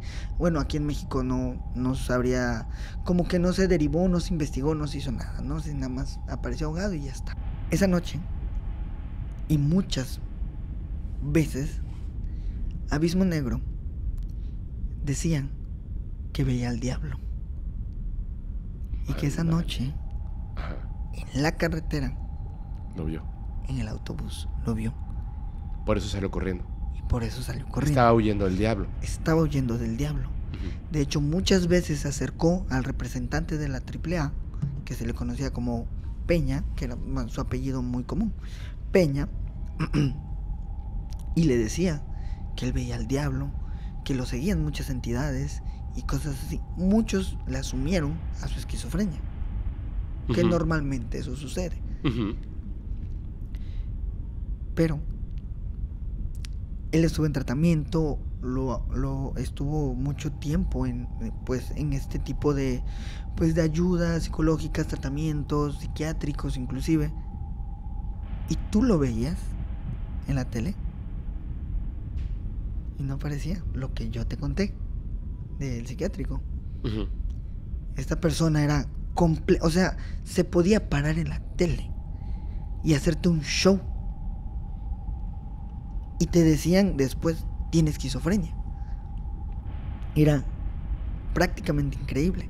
Sí, porque no lo estabas viendo en el momento en el que tenía, Que tenía estos ataques, algún ¿no? Por ataque. supuesto. o sea, Todo esto pues ocurrió, obviamente, este, su desvivimiento baja ese momento. Y se- ahí es donde entra lo paranormal, que te Ajá. digo. Él va al diablo, se baja, corre, se pierde. y se pierde. no se supo hasta que se encontró en, en este pues en este canal Barranca se le llama que se le conocen ahogado y ese fue el gran misterio que tuvo esto ojo a raíz de esto se hizo la leyenda de Abismo Negro y su defunción. Su deceso. Claro. Pero sigo, sigo con la duda. ¿Qué pasó? O sea, Nadie lo sabe, solamente él. Es Wow. un gran misterio. De verdad, de hecho cuando yo lo estuve investigando, yo me acuerdo, y aquí vamos a ver un video, cuando se dio la noticia, ajá. los programas de televisión fueron así. En Cebales salieron llorando, su, ya sabes, ¿no? Eh, el típico que pasan imágenes de lo mejor de él y todo el rollo. Nadie tocó el tema. No manches. Hasta 11 años después que lo dijo este, el Rudo Rivera. Bueno, pero, pero está comentando que esta persona tiene esquizofrenia. Bueno, tenía esquizofrenia. Tenía. Pero no explica cómo se quitó la vida.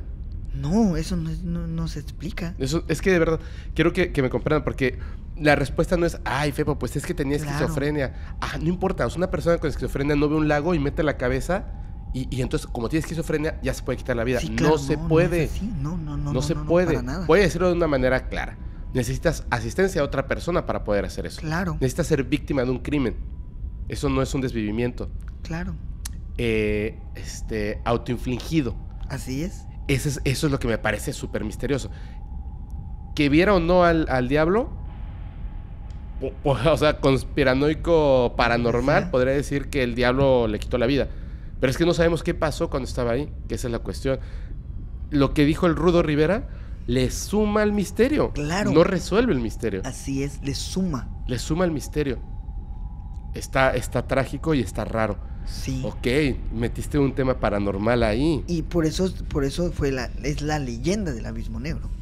Porque no se sabía nada, no se sabía qué pasó. O sea, él se fue, se perdió, se ahogó y ya. Híjole, estaba ahí el diablo y todo y bueno, Sí, un rollo. Te, terrible. te voy a contar ahora, te voy a contar una historia. Te voy a contar una historia de otra, otro jugador de la NFL. Este sí era un linebacker, era un linebacker en la NFL. Pero esta es una historia que ahora vamos a cambiar de género. Ok. Porque esta es una historia...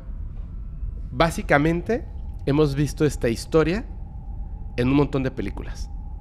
Ya sabes, estas películas como genéricas que dices, oye, ¿de qué, ¿de qué hacemos una película para ganar un dinero? Consíguete a un Michael Douglas o, bueno, un actor, algún actor. Y esta es la historia. Y la hemos escuchado un montón de veces. Son muy interesantes, pero ya hemos escuchado esta historia. Parece el guion de una película. Supongo que debe haber un- una película así. Esta persona se llama Eric Naposki. Así, Eric. Tocayo. Tu tocayo, tu tocayo. Este, este jugador también de la NFL, que repito, era un li- linebacker, es una historia distinta y sorprendente. Ahorita vas a ver por qué. Aquí no se conjunta eh, estas enfermedades que pueden llevar a casos trágicos. Posiblemente, digamos que posiblemente pudiera ser que tenía ETC, pero no es la parte importante porque no provocó nada esto. Lo que lo provoca es la persona y la sociedad, lo que está alrededor. Esto que les dije en un principio, lo que te comentaba, de estas personas que de repente llegan a tocar estos mundos donde hay un exceso de todo. Hay un exceso de dinero, hay un exceso de comida, hay un exceso de sustancias, hay un exceso de sexo, hay un exceso de todo. Exceso como tal. Como el rockstar, pero del deporte. ¿Y qué pasa cuando estas personas de repente les quitan todo? No tienen una, pues no estudiaron, ya no pueden eh, ejecutar el deporte, pero tienen la necesidad de volver a estar en ese punto. Que es además, esa historia se repite en todos los ámbitos, ¿eh? Lo veo con, sí. con- en lo que nosotros nos movemos y lo hemos platicado así nosotros, ¿no? Cuidado, porque si empiezas a hacer las cosas por dinero, aquí, en esto que estamos haciendo, te vas a perder. Porque cuando no lo recibas vas a estar diciendo, este, necesito que me positen aquí, necesito que me positen aquí. Mm, ¿y ¿No ibas a investigar a los ovnis? Así o sea, ¿qué pasó, no? Y la pasión. Entonces, pero digo, eh, cada quien. En este caso, esta persona, Eric, estaba. Eric Naposki. Eric, Ah, Eric te Naposki. iba a decir sí. mande. Mira, en este caso, celos, avaricia y por supuesto, crimen. Él nace en 1966, se vuelve un jugador profesional del NFL, tiene una carrera larga durante los años 80, siendo de estos eh, personajes del deporte icónicos, no como un, un, este, eh, el nombre más reconocido, pero sí de estos que estaban ahí, que dices, wow, ¿no? Y los recuerdas con, con mucho, mucho cariño. Él jugaba para, para los Patriotas de Nueva Inglaterra y para Indianapolis Colts. Entonces, mientras estaba él en su carrera, que digo que tuvo así como, como estos excesos de la vida, que así ocurre, de repente, pues la carrera se acabó. Le llegó el momento del retiro, lesiones, etcétera. Adiós. Y se comió el dinero muy rápido. Como la mayoría de todos esos. No se programó para la vida. Claro. Entonces, pues bueno, él termina su carrera abruptamente y se traslada a vivir a California. Así, de verdad. Como las personas este, que, que, se retiran y se van a vivir a California, que es como una broma muy común en, Estados, Estados, Unidos. Unidos sí. Pero bueno, él solo que no era todavía de la tercera edad, ni estaba jubilado, solamente estaba jubilado del deporte. Pero bueno, entonces se va a vivir a California y estando ahí ocurre un, una serie de situaciones que van a cambiar su vida radicalmente. Él obviamente pues estaba con estos problemas que a lo mejor para nosotros no son problemas económicos, pero para él sí. Ya no tenía este exceso de todo. Y de repente, él conoce a una mujer. Esta mujer se llamaba Nanette Johnston. Y Nanette eh, era la novia. Hay registros, o sea, hay, reportes donde dicen que estaba casada. Como sea. Casada era la pareja de un millonario. Ok. Es un empresario, un rico empresario que se llama Bill McLaughlin. Bill tenía una empresa de estas que, eh, bueno, su empresa, entre otras cosas que tenía, una de las empresas que lo había hecho multimillonario, era una empresa que separa el plasma de la sangre. Ok. Supongo que, no sé, la verdad, a lo mejor tú sabrás un poco más, pero supongo que son procedimientos difíciles y bla, bla, bla, y muy necesitados. Equipos puede, caros. Equipos caros. Sí. Era un magnate, tal cual, era un magnate, y tenía a su bellísima esposa o novia, Nanette Johnston. Pues él conoce a Nanette. Y Sass, que se enamora de ella. Eric. Y ella de él. Entonces, pues bueno, estaban ahí como teniendo su relación ilícita. Él era el, el, amante y Bill, magnate en sus negocios, pues la verdad es que no se había dado ni color de que su pareja pues estaba teniendo una relación con un exjugador de la NFL. Obviamente, Bill tenía algo que no tenía Eric. Mucho dinero. Mucho dinero. Entonces, planean, por eso decía como, como lo hemos visto en muchas películas, cobrar el seguro de vida de Bill, pero alguien tenía que quitarle la vida a Bill. Claro. Entonces, como él era el, el, el amante y el mundo no sabía que él era el amante, hacen el plan que ellos piensan que es un muy buen plan, lo cual está bien, bien. Mira, para la época, recuerda que esto es en los 80s. Él era de los 80s, a lo mejor ya estábamos entrando a, a, a los 90s. Eran, de hecho, ya eran los 90s, era diciembre de 1994. En ese momento, que es cuando comienza todo este rollo, Bill, eh, Bill perdón, Eric le quita la vida a Bill. Le dispara, como siempre, ¿no? Como siempre. Seis tiros, se mete a su casa en Newport Beach, ahí en California diciembre de 1994, le mete seis tiros a Bill y lo desuscribe de la vida. Entonces, no pasó nada, porque la policía llega a investigar qué pasó aquí y lo único que saben es que alguien se metió en la noche y le quitó la vida a Bill. Pero no encuentran un motivo, aunque es un magnate y por supuesto debe de haber un montón de, de mm, pues, situaciones no hay un, un digamos, un, este, una persona que claramente puedan culpar Claro. o que puedan empezar una investigación. Y entonces, como que carpetazo y listo, no pasa nada. Entonces él no va a la cárcel, porque nadie sabe que él fue el que cometió el crimen.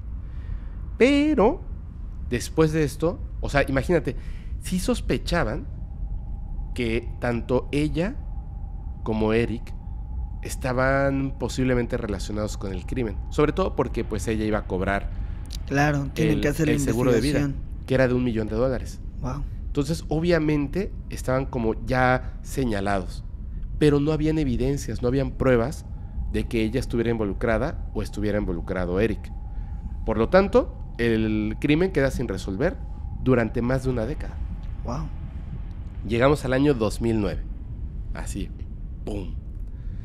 En ese año, que son literalmente 15 años después del asesinato, 15 años, más de una década, década y media, resulta que no se han detenido los avances en la tecnología, sobre todo para la resolución de crímenes. Claro. Poco a poco se va avanzando. Pruebas de ADN, me imagino. Un montón de cosas. Sí, claro. Entonces empieza a avanzar la tecnología. Y es en ese momento que los investigadores de la policía, los forenses, etcétera, dicen: Oye, oye, oye, ¿cómo ves si reabrimos casos antiguos que quedaron sin resolver? Aplicamos la nueva tecnología forense con la que contamos ahora y posiblemente vamos a resolver algunos casos de- del pasado. Sí. Órale. Oye, este está bueno, mira, porque involucra a un jugador del NFL que fue mu- muy famoso. Empiezan a investigar, ¡zas! Inmediatamente. Pero así, ¡pum! Fíjate lo que encuentran. Al reunir las pruebas que vinculan a, a- a Eric con el asesinato de Bill, se dan cuenta de que entre estas pruebas estaban grabaciones de audio telefónicas y una serie de, de- de documentos, o sea, que generan a través de esto, donde queda clarísimo, o sea, resuelven el crimen, ya, así como tal, uno, dos y tres. Con las no- pruebas que ya tenían, o sea, literal. con las pruebas que ya tenían, pero que no podían, no podían terminar de, Claro.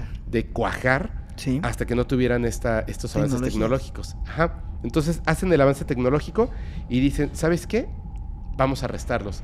Imagínate que la, que la, la pareja 15 años después ya. 15 años ya después de repente llegan a tu casa, knock, knock, knock, sí, ¿quién es? Y en el 2011, o sea, imagínate, 17 años después, porque tardaron en hacer las investigaciones. Claro.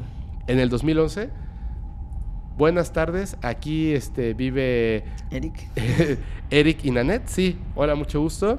Este, ¿Me pueden enseñar sus, sus muñecas? Sí, pras. Mira qué bonitas muñecas. Detenidos.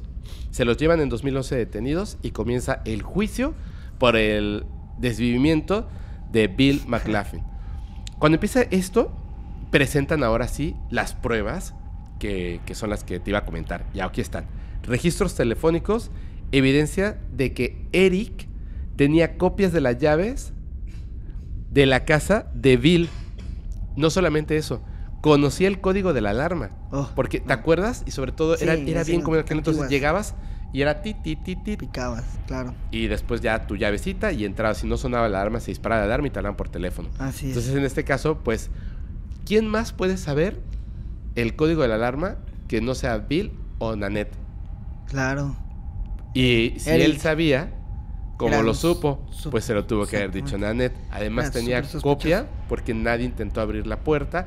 Nanette no se encontraba en ese momento en el lugar. O sea, todo así, Es lo que ahorita Perfecto. ya es, es Sí. una investigación de rutina. una investigación de rutina. Entonces, y además estaba el hecho de que estaba la póliza del seguro de vida por un millón de dólares. Como sea. Condenado Bill por el desvivimiento, perdón, condenado Eric por la desuscripción de la vida de Bill en primer grado. Uf. Desvivimiento en primer grado. En 2012, además fue un juicio rapidísimo, 2011 y en lo detienen y 2011 ya juzgado, ¿no? Pues están todas las evidencias. 2012 lo sentencian a cadena perpetua sin posibilidad de libertad condicional. Claro, ¿Por qué razón? Porque fue premeditado, claro. Porque es un crimen en primer grado. Así O sea, es. no fue un crimen pasional, nada. O sea, tuvieron el tiempo de sacar la copia de la llave, planear el, el desvivimiento, Sí. ejecutarlo, cobrar el dinero, etc. Pero hay una cosa que me parece bien interesante. ¿Has escuchado alguna vez tanto peca el que mata a la vaca como, Como el que le jala la pata. ¿Lo has escuchado? Sí. Ok. ¿Qué crees que pasó con Annette? Que también va ahí. Claro, por supuesto. Nanette Johnson también fue condenada por robo. Sentencia, un año en prisión. Fue el artífice, la mente maestra de eso. Bueno, Bueno, probablemente, Bueno. seguramente.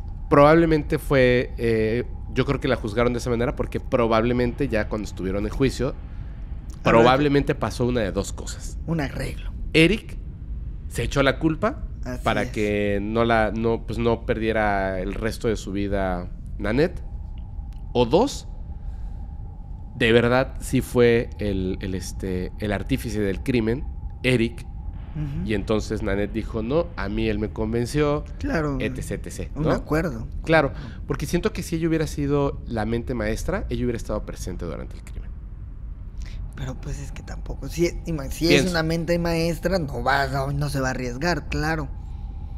Pues, como sea, al final el crimen se pagó. Y esta es una historia en que la justicia tarde, pero se llevó a cabo. Y además, los avances en la tecnología, los celos, el mundo del deporte, cuando eres una estrella y te retiras y no hiciste nada de tu Claro. vida después de eso y te, te acabas el dinero. Todo, ¿no? Este. Sí. Wow. O sea. Es como una película. Sí. Como el esas que, veías en. Golden Choice. ¿no? Así es. No, hombre. ¿Eres un jugador de la NFL? No. Ah, cierto, no qué pasa. pero te llamas Philip Adams. Philip Adams. Sí, así es.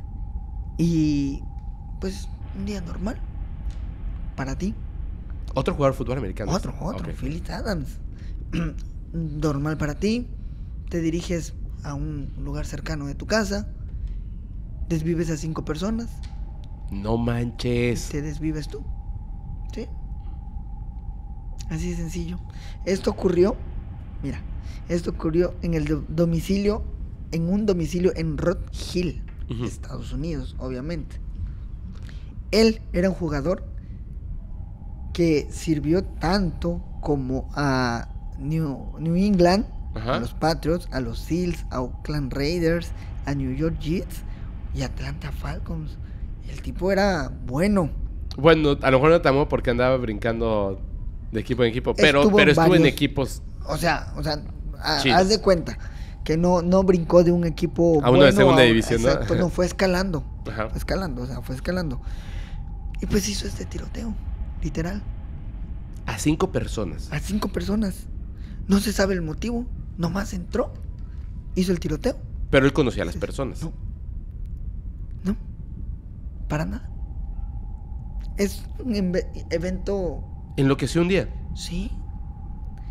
En lo que hizo un día, hizo ese tiroteo. Este era un médico conocido, el señor. Ajá. Era un médico conocido en la zona. Adam encontró al doctor, a su esposa, a dos de sus nietos. A ver, espérame. Era, era una familia, básicamente. Estaban en la casa, esta persona llegó. ¿Quién- qué, qué persona? ¿Philip? Adams, Philip, Philip Adams. Haz de cuenta, estaban en la casa, iba caminando con su arma, pasó, vio a estas personas, habían ¿En la calle? Él iba en la calle. Estas personas estaban en su hogar.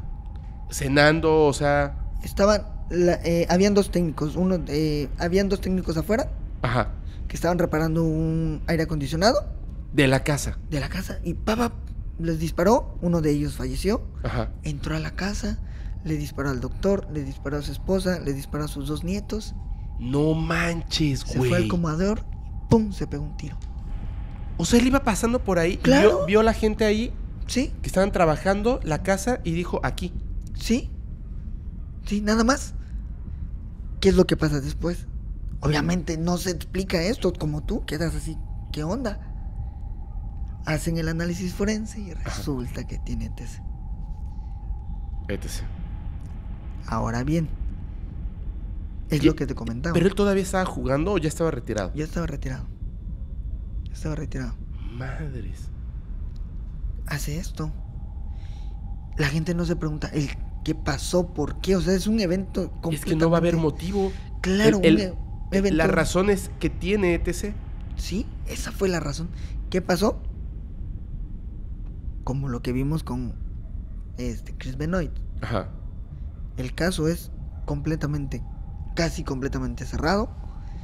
Por todo esto, o sea, imagínate la NFL, cuántos miles de millones de dólares. Sí hay, puedes googlear y todo el rollo, pero no hay mayor información. Te voy a, te voy a redactar a leer esto. ¿Por qué? Porque es importante. Porque es parte del análisis de su cerebro. En las inve- investigaciones arrojadas hubo un preocupante diagnóstico. La autopsia reveló un grave daño cerebral en el lóbulo frontal del exjugador de la NFL, Phillips Adams. La encefalopatía traumática crónica Mm, fue una que fue esta enfermedad cerebral degenerativa que se encuentra no solamente en atletas, incluso en veteranos militares y en otras personas con un historial traumático en el cerebro. claro, claro, por supuesto. Te vuelvo a repetir los síntomas que arrojaron esto, esta investigación que fue parte del como el parte médico forense, ¿no? Que, que arrojó, arrojó. Uno de los síntomas que se pudo haber detectado a tiempo fue los arrebatos de ira y la pérdida de memoria. Este jugador tenía pérdida de memoria y tenía esos arrebatos de ira, como el que observamos, que tuvo un desenlace horrible. Él estuvo por 20 años jugando fútbol americano. Obviamente, No, 20 años, imagínate. obviamente.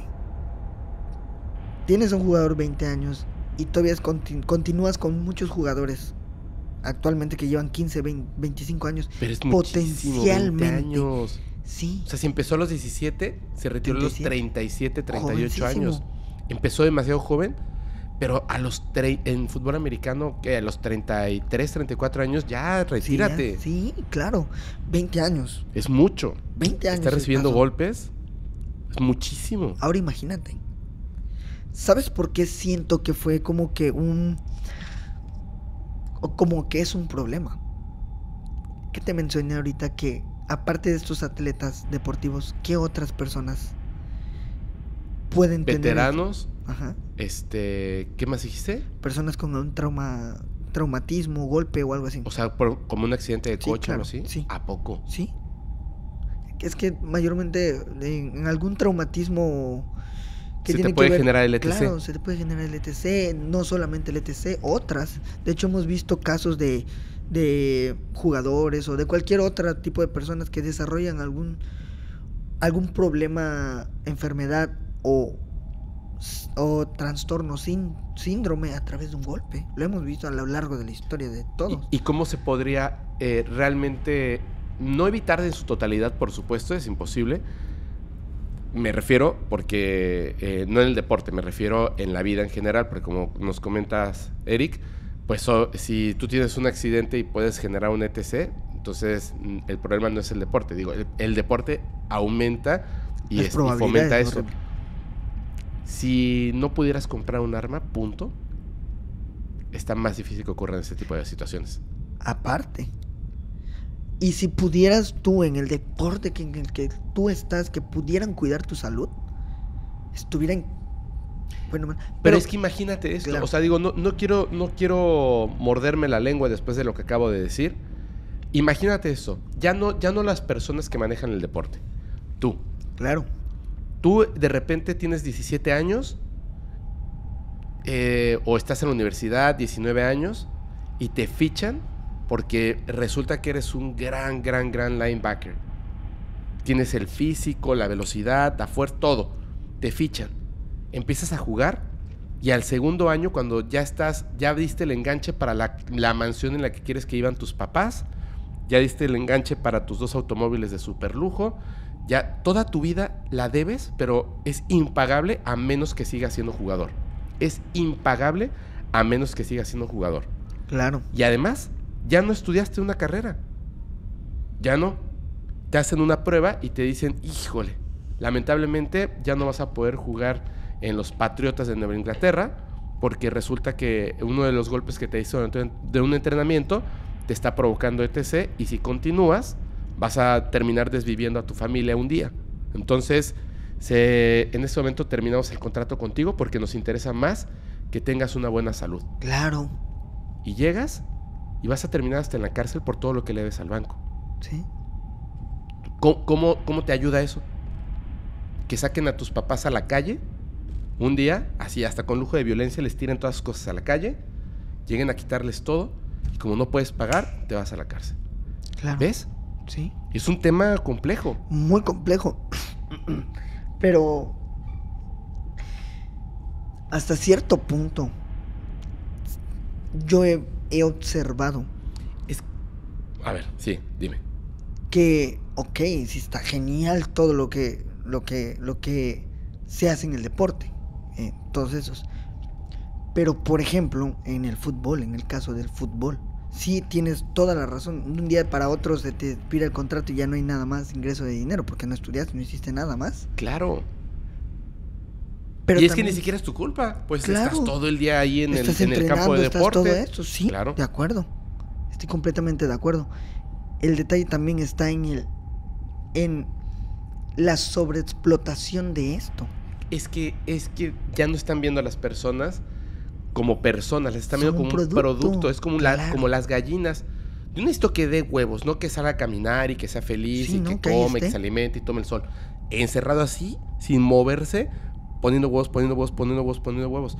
Es eso, ¿me entiendes? Sí. Te, ase- te- te aseguro una cosa. Y yo tengo amigos futbolistas, Sí, así de, Sí, no voy a decir sí. su nombre porque son amigos, claro. de, de estos así, de los que están ahí hasta arriba en el deporte, es que no solamente es el equipo, no solamente es la liga, no solamente es la sociedad, tu propia familia, Sí. porque de repente tienes mucho dinero, de repente tienes mucha fama, de repente tienes mucho éxito. No, hijo, oye, es que a tu tío le debieras de comprar un coche, a tu abuelita una casa, a nos- y de repente tú estás manteniendo no solamente a tu familia directa, a tu esposa y a tus hijos, a tus padres, ya estás manteniendo a tus hermanos, a tus tíos, a tus tías, a tus... Es, es una presión enorme sobre un ser humano. Sí. Y de repente el gobierno, que es lo que pasa también. Oye, ya voy a ir a las Olimpiadas después de que ya me reventé los huesos. Y se ponen ahí, "Ni, ¿cómo te voy a dar el dinero presupuesto". para tus boletos? Claro. O sea, es una presión gigantesca sobre una persona. Gigantesca. Que de repente lleguen a decirte, pues tienes ETC, adiós. Tú eres el sustento de un montón de personas. Y de Sí. repente, bye. Se te Sí. acaban los contratos con Adidas, con Nike. Todas las marcas que tú tengas. Todo. Adiós, porque ya no vas a jugar. Punto. ¿No le pasó eso a Eriksen, Sí, el futbolista? sí, de acuerdo. Le pasó eso. Digo, está jugando ahora, pero yo creo que así se aventó unos tres o seis meses de pesadilla. Está jugando. Y te aseguro que no es porque...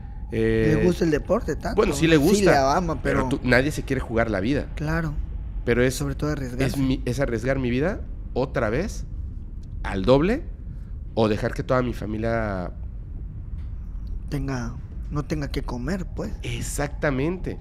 Es una presión enorme. Entonces, Sí. es muy difícil. Y eh, luego estas personas dicen, no, yo te voy a explotar así. Y pon restaurantes y lo que sea. Sí, porque claro, cuando llegues a los treinta y pico de años, adiós. Sí. Y hazle como puedas. Y lo hemos visto en casos de jugado, con lo que, lo que pusimos de, de ejemplo.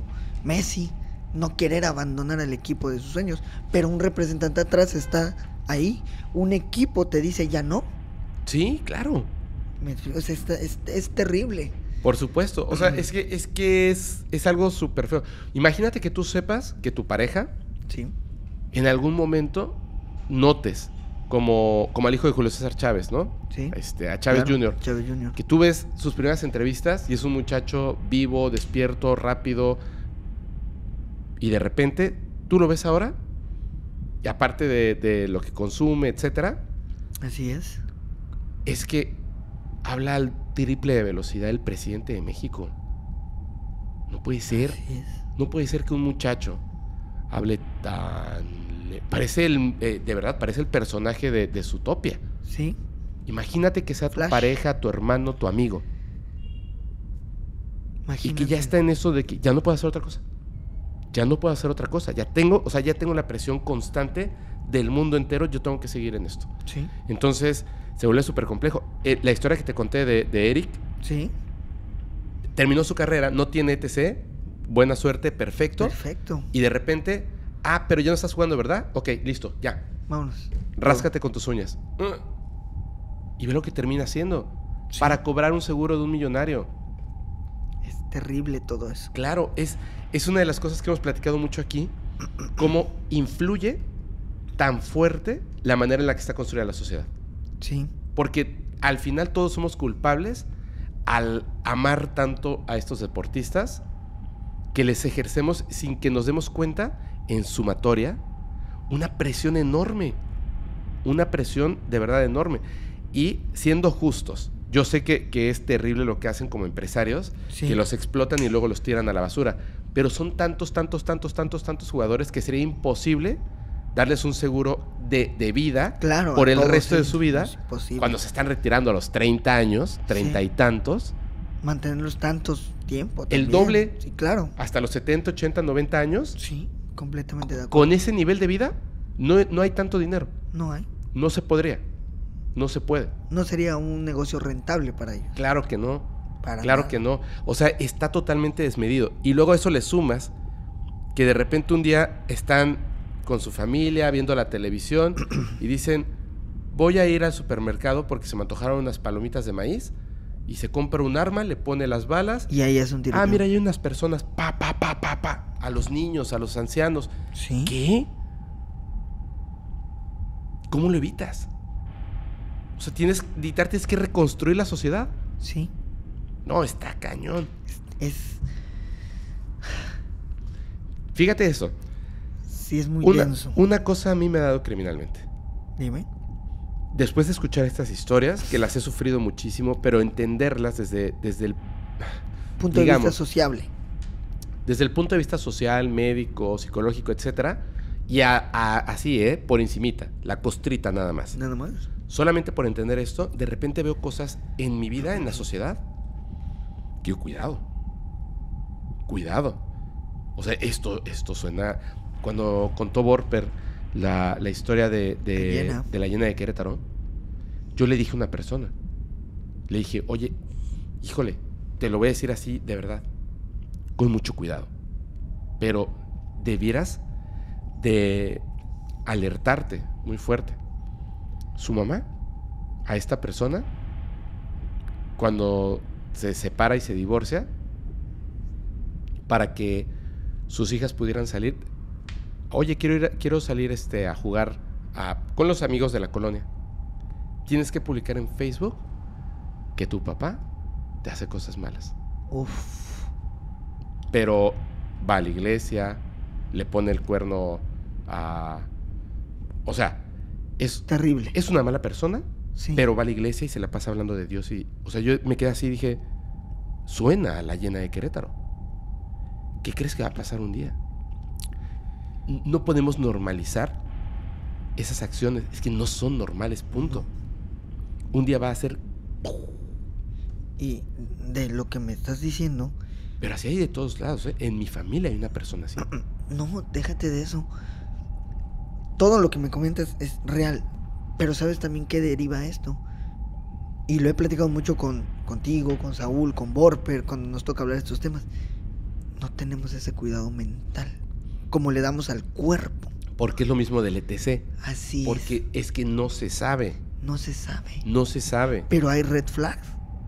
Pero no sabemos, no, no sabemos reconocerlas. No. Yo no, yo no podía reconocer estas cosas en las personas. Porque Claro. no estás acercado a esto. No. Esa es la razón. Pero, por ejemplo, personas de que estudian en el área médica y todo este rollo, no todas, pero sí se puede. Mira, si tú le dices a las personas, es que la gente no debiera de poder conseguir armas de ninguna forma, te dicen no, porque uno tiene derecho a defenderse en su casa. Uno Claro. tiene derecho... No, no es cierto. ¿no? Tú no debieras de ser violentado nunca en tu casa. Así ni es. en la calle. Por No. lo tanto, no debieras de tener la necesidad de tener un arma. Claro. Nadie ni nada, ninguna justicia divina ni social te da derecho a quitarle la vida a otra persona. Así es. Punto. Tenemos que construir una sociedad en la que si una persona puede llegar a tener por un padecimiento físico, genético, etcétera, puede llegar a tener una enfermedad o padecimiento que lo lleve a algo en lo que cometa un crimen de este tipo, tendríamos que tener el conocimiento de tener cuidado. Así Uno, es. para que no pueda conseguir un arma. Dos, para que podamos reconocer este tipo de situaciones y tener cuidado. Porque lo que estoy diciendo con esto es lo siguiente. Todos. No, yo en mi familia no, en mi familia no pasa, bla, bla, bla. Gozamos de una salud espectacular. Qué bueno.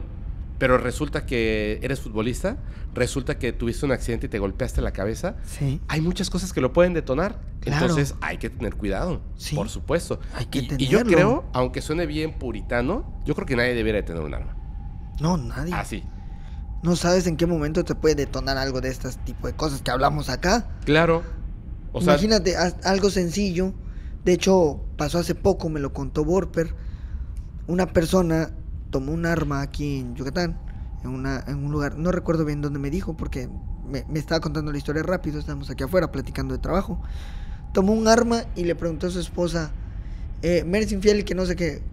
Y le dice, eh, la esposa espantada, una escopeta, ¿qué? la punta. Entra la hijastra, se asusta, le dispara, la desvive, toma raticida y se va. Imagínate el grado, qué problemas se tiene. De hecho, yo no, tú lo sabes, mucha gente no lo conoce y los que han platicado conmigo saben que yo voy a terapias, o sea, es- voy por ¿Tú? sí, voy muchísimo, muchísimo al psicólogo, así como voy al médico, voy al psicólogo. Yo ninguno de los dos. No. Pero voy a tener que ir. Ayuda muchísimo. claro, yo sé que ayuda muchísimo. No he ido por tiempo. la Claro, no, yo sé que no ha sido por tiempo. Pero en has mucho tiempo has no he ido por Ya has tiempo. visto cómo estamos, o sea, nuestros horarios están...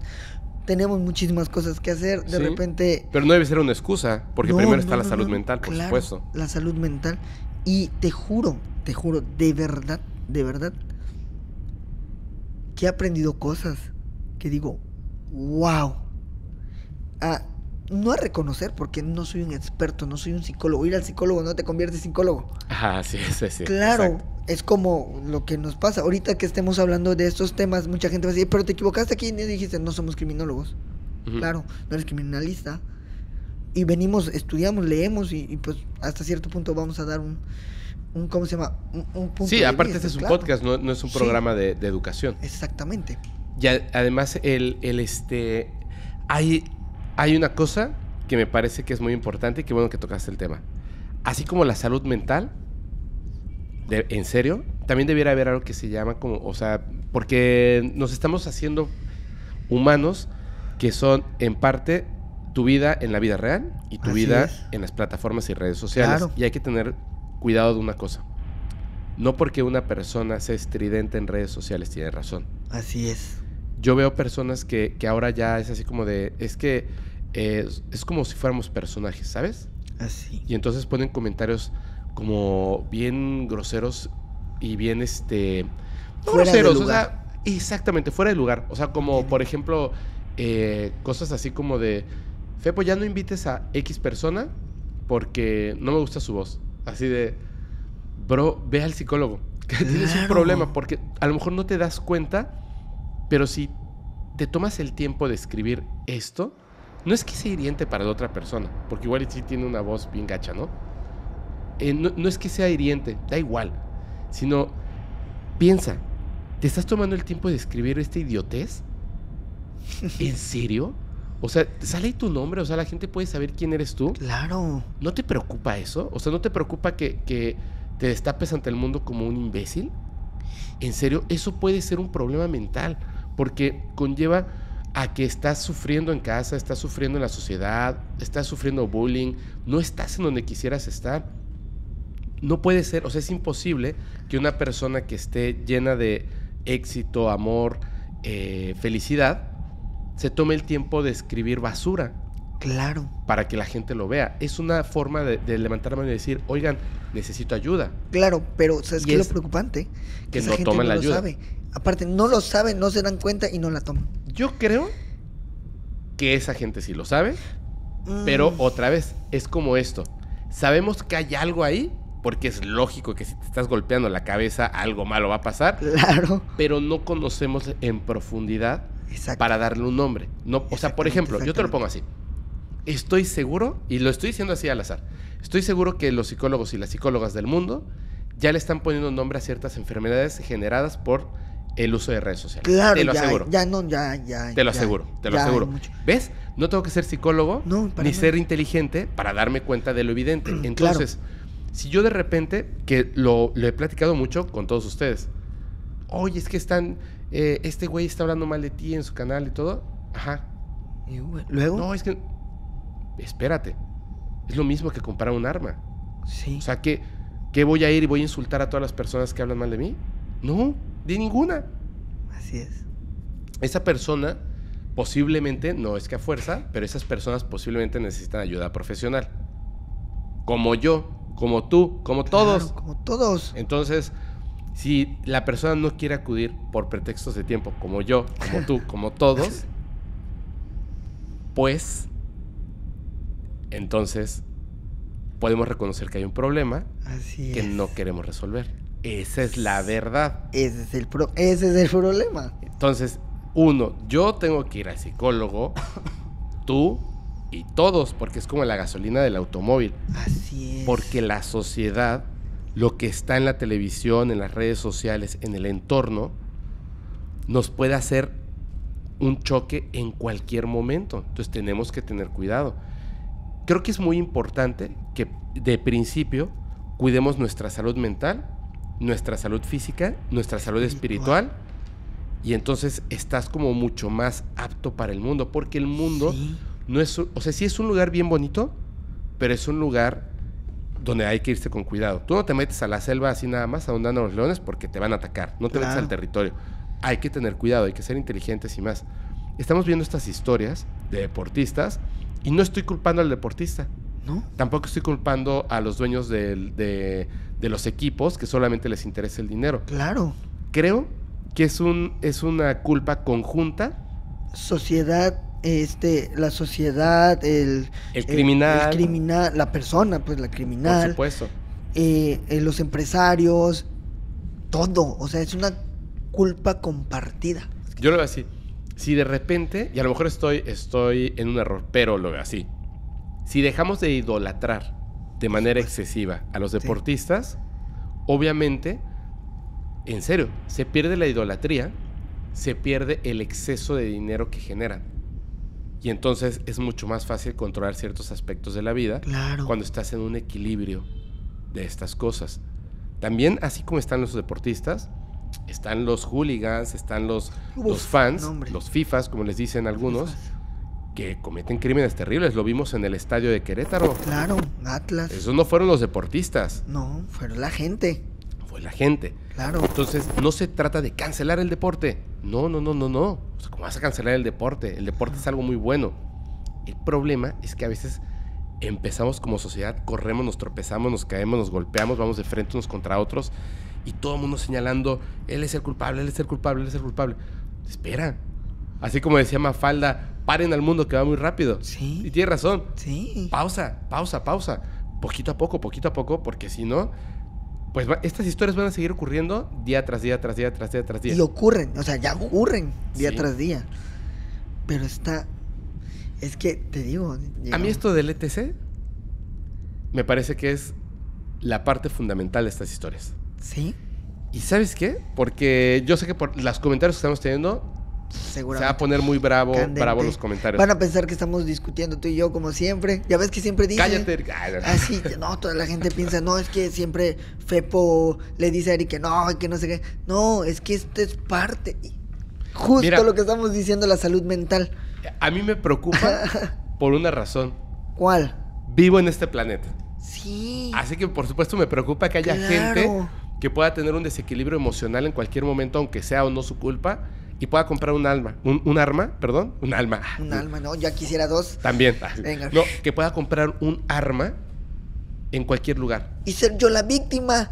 Claro. Que no la debo, no la na- nada. Claro, Por porque en la historia que contaste, lo que se me hace terrible, güey, estaban estos señores, este, ¿Ah, sí? perdón, esta familia, Sí, eh, eh, la señora, eh, su esposo, de la tercera edad, con sus nietos.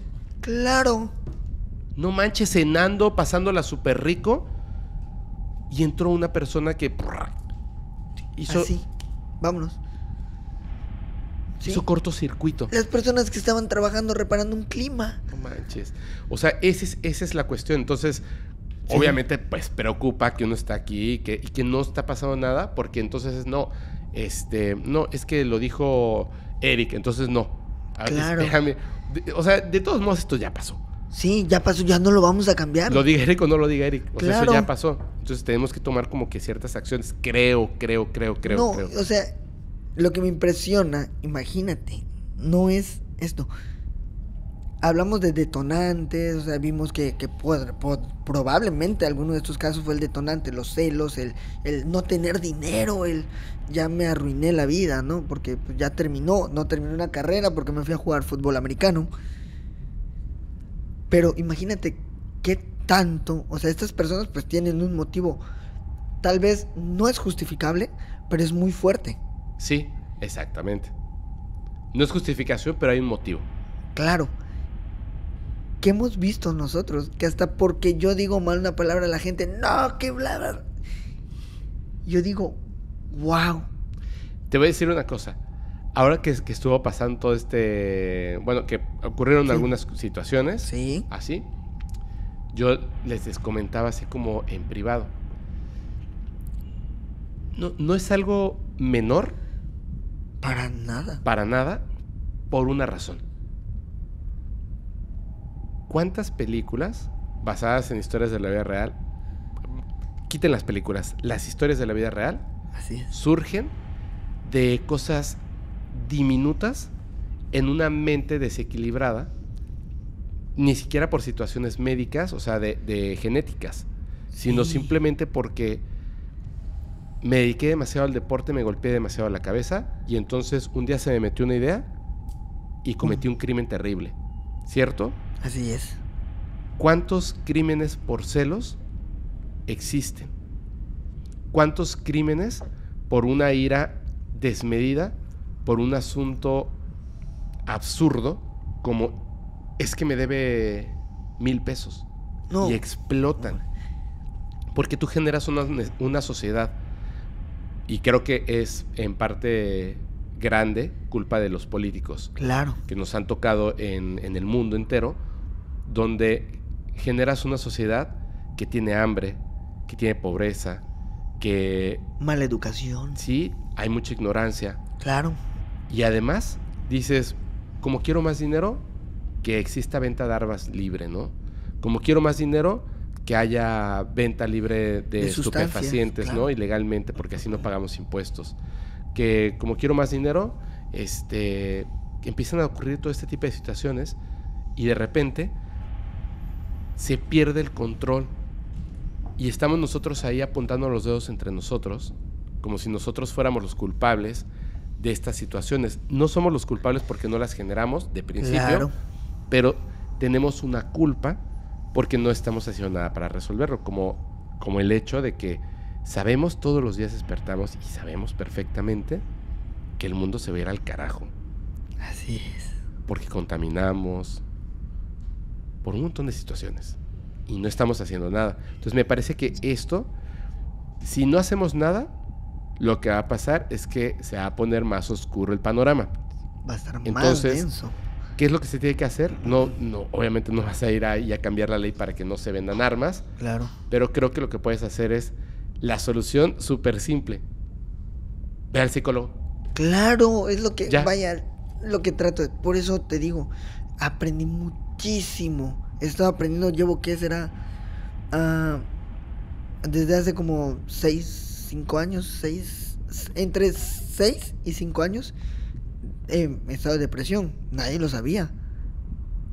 Y de hecho, No cuando, cuando lo digo, se quedan así. Tú, tú me conoces. Sabes que yo trato de estar todo el día alegre, estoy haciendo bromas, chistes y todo. Pero lo he estado y lo estoy porque no es algo que yo quiera. Han sucedido eventos que es lo que te digo, aprender de, de- no ese red flag porque ya no, o sea, no, no esas banderas porque tú no controlas lo que hace la demás gente pero sí tener ese, lo que me comentaste ese día, tener esa manera de discernir hiciste algo que no debes, fuera de mi vida, punto. Porque lo que tú haces me contaminas a mí. Sí. Pareciera que no, pero me contaminas. Eh, eso ha ayudado. De hecho, yo es intermitente lo que he estado yendo a, terapia durante seis años, cinco años. Pero. Pero es, es muy bueno. Te ayuda muchísimo.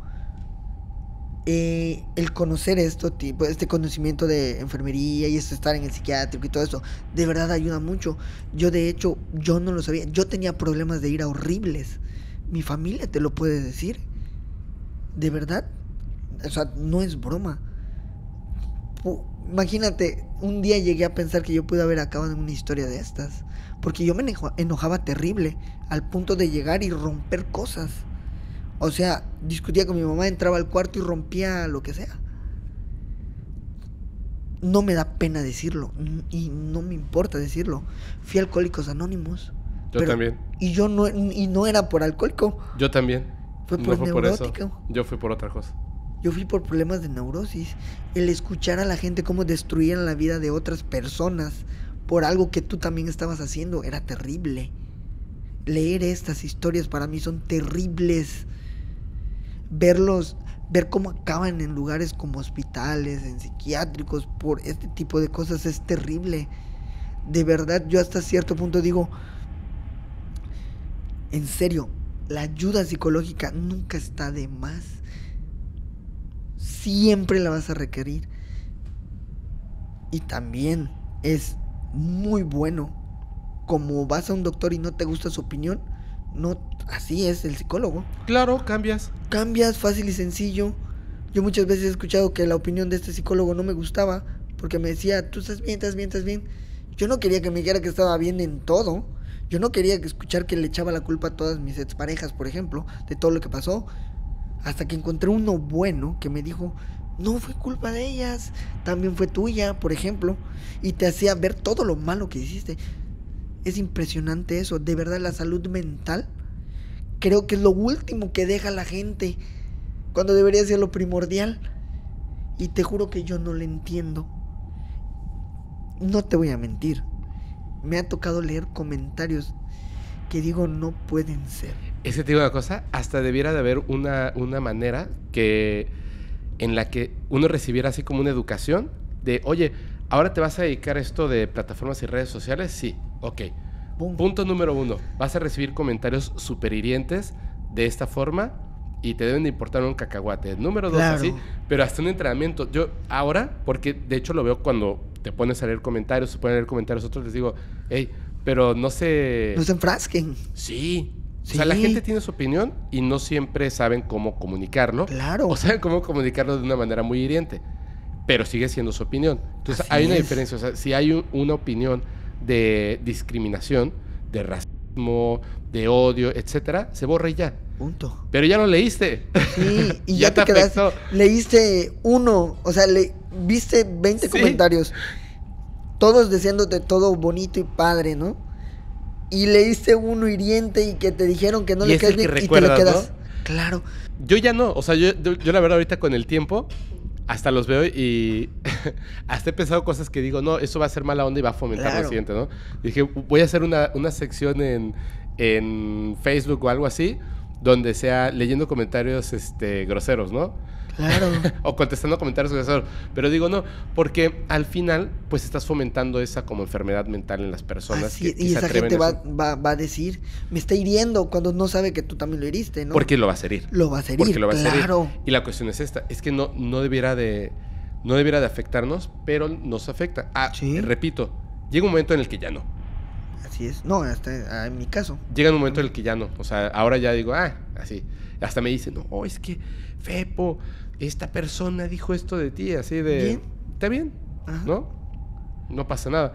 De hecho, a- una vez una persona en Twitter me bloqueó y yo dije, chale, ya no... por- Yo no le decía nada, ¿eh? Solamente me, me etiquetaba y me tiraba mala onda, me tiraba mala onda, me tiraba mala onda, me tiraba mala onda. Y yo veía cómo iban subiendo mis seguidores. Y yo decía, ah, pues, pues cada quien, ¿no? Cada quien. Claro. Y un día le tiró mala onda a este a JL, a Víctor Martínez, a Vicente Fuentes, No, al señor Maussan y a mí también me puso ahí en el mismo saco, ¿no? Y entonces se me ocurrió que sería una buena idea contestar con humor. Claro. Uf. Ota. Pues obviamente lo ofendí, pero muchísimo. Me bloqueó y todo. Y yo dije, chinga. O sea, lo que no quería. Claro. Yo, o sea, no, no quería, aunque estuviera ofendiendo, yo no quería ofenderlo, porque yo ya pasé por ese punto donde te, te importa Sí. y ahora ya no. Pero obviamente esa persona no.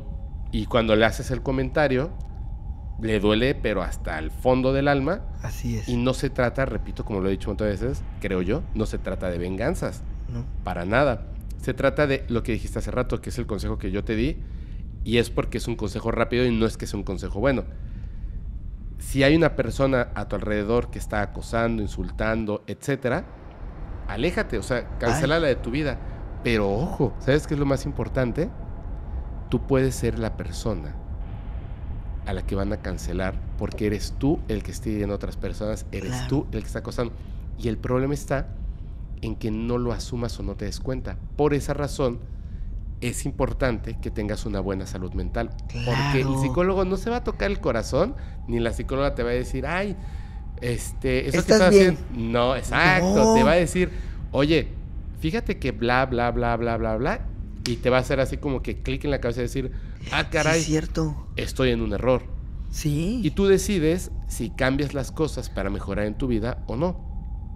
Que yo no sé por qué razón alguien no mejoraría las cosas en su vida. Pero bueno, Claro. como sea, ese es el asunto. Porque al final, yo no creo que nadie quiera estar envuelto en ninguna de estas No, historias. para ni- nada. de ninguna manera, ¿no?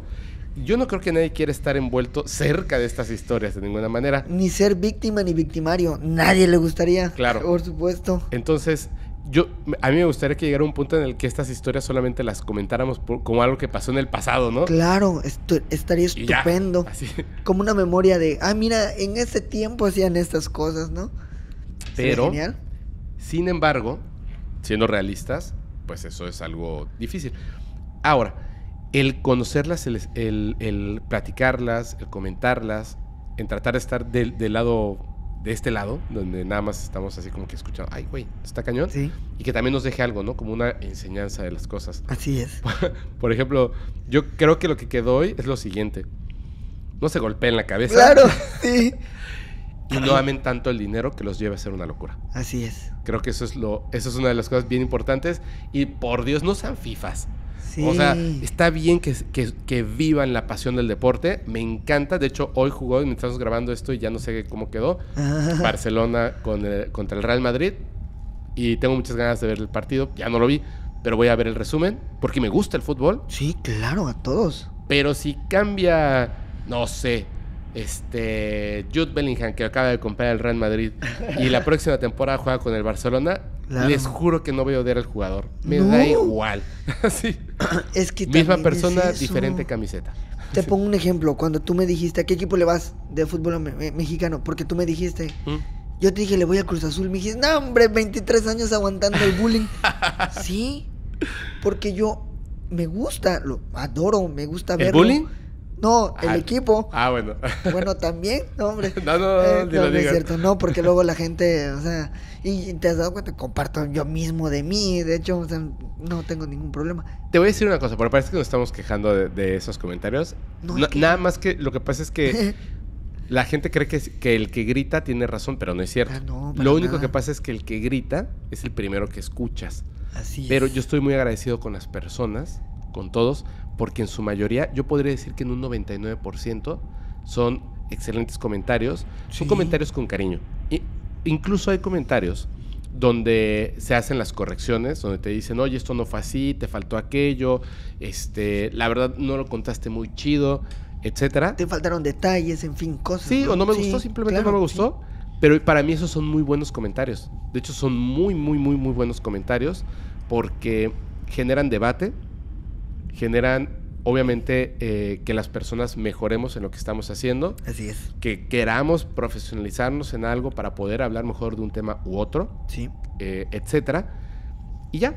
Y los, y los comentarios de odio, pues yo solamente pienso es, si en algún momento has puesto comentarios de odio y etcétera, en cualquier canal de YouTube o en cualquier red social o a quien sea en privado, algún amigo o persona que no conoces, pues haz como que una pausa y di, oye, a lo mejor necesito ir al psicólogo. Cuando no, a lo Claro. mejor necesito ir al psicólogo. Porque la neta, este, pues no está chido, ¿no? No está chido vivir con odio. O sí, no sé, cada quien lo suyo, Claro. pero traten de estar saludables de la cabeza. Sí, no. y yo también, no. tengo que ir al psicólogo o psicóloga ya. Sí, sí, yo, ¿qué será? Hoy que Me estamos tengo que hacer grabando. un tiempito. No, sí, yo, hoy que estamos grabando, mi última cita fue hace 15 días. Puta, la última mía fue hace años, bro. No, y de Qué verdad, pena. lloré en esta última cita. Pues yo creo que voy a berrear cuando vaya, oye, lleva mucho no, tiempo. no, no, no, pero te digo, te recomiendo que cuando, cuando encuentres uno bueno, lo vas a sentir. Sí.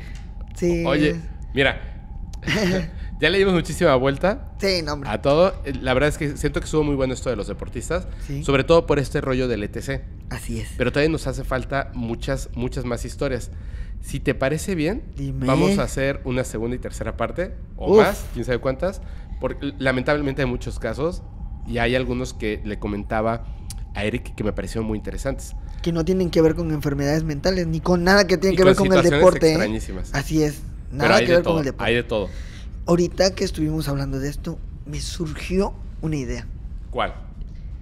El hacer un capítulo con estos hechos que han ocurrido, pero por una manera tan absurda. O sea, una manera que dices tú es inexplicable para nosotros, viéndolo de nuestro lado, pero para esa persona no. Por ejemplo, crímenes que se han hecho por una manera absurda para nosotros. Ah, o sea que el crimen se hizo por algo absurdo. Claro, te spoileo una. Va. Una persona, un niño, alrededor de 11 a 13 años, de 10 a 15 años, desvivió a otro porque le debía monedas en un juego. Y lo hizo de una manera tan horrible que de hecho las fotos están porque es del crimen real. De una manera que te dices, un ejemplo, jugamos tú y yo un juego común, ¿qué será? Este, Street Fighter. Street Fighter. Pero en Street Fighter tú me prestas 500 monedas virtuales. No se puede. No, un Bueno, ejemplo. otro juego. Otro juego, no sé. Minecraft, Eh. Minecraft. Me prestas eh, dos, dos, diez capas, por ejemplo. Ay, no sé. sabes jugar Minecraft ni No, Street Fighter. ni hombre, ninguna de Bueno, las juego. Yo soy malo. Eh, eh, por ejemplo, Tibia, el antiguo. Que de hecho de este juego es. Nunca, Me- no sé ni qué. Hombre. Bueno, no Ahí está. importa, tibia. Bueno, un juego Ajá. donde tú le puedes prestar a otro jugador monedas. Ajá. Y tú me prestas a mí. Y pues yo no te las devuelvo y solamente ese fue el motivo. No, te desvivo. Ah. No, hombre. ¿Y eso fue lo que pasó? Y eso fue lo que pasó. Pero niños, niños. Estaría genial, ¿no? Sí. ¿Por qué? Porque tocaríamos este tema mental. Ese desequilibrio. Es este, que este desequilibrio no, no quiere decir porque se escucha feo. sí, se escucha feo. Horrible. Se escucha que, ah, no, pues yo soy un desequilibrado y no sé qué, ¿no? No, no, no, no, no, no. Pero que para ti está bien, pero para otras personas no. ¿Me explico? Que es como un punto de inflexión donde la gente debe decir, eh, estoy mal, ¿no? O sea, ¿será que estoy mal? Pero no lo puedes decidir tú. Porque tú eres el que... La persona. Estás mal. Claro, tú eres el que estás mal. Hay muchas personas, por ejemplo, no sé, te puedo decir un ejemplo conmigo, por ejemplo. Para mí no es tan mal bromear casi a todo momento. Pero para otra persona sí. Para mí. Por ejemplo, para ti. Que a veces me dice, güey, no puede estar serio. O sea, y así, sí, pero pues no sé, no, un ejemplo, ¿no? Y así hay muchos ejemplos. Oye, no sé. Eh, uf, te podría decir millones, porque hay muchos, muchos, muchísimos. El, no me gusta el tono de tu cabello, por ejemplo. Y eso es un motivo de mirarte mal, a gritarte, eh, señalarte horrible, ¿no? Pero no estoy mal porque es mío. Es que mira, cada cabeza es un mundo y el, el- tema de, de la psicología, la psiquiatría, el... puf. Mira, si no entendemos la realidad que, que está a nuestro alrededor, o sea, la mismísima realidad, si no entendemos la vida que está en el mar, si no entendemos la vida que está... O sea, no entendemos ni siquiera lo que es la gravedad, tal cual. Así es. El cerebro humano menos entendible. es súper complejo.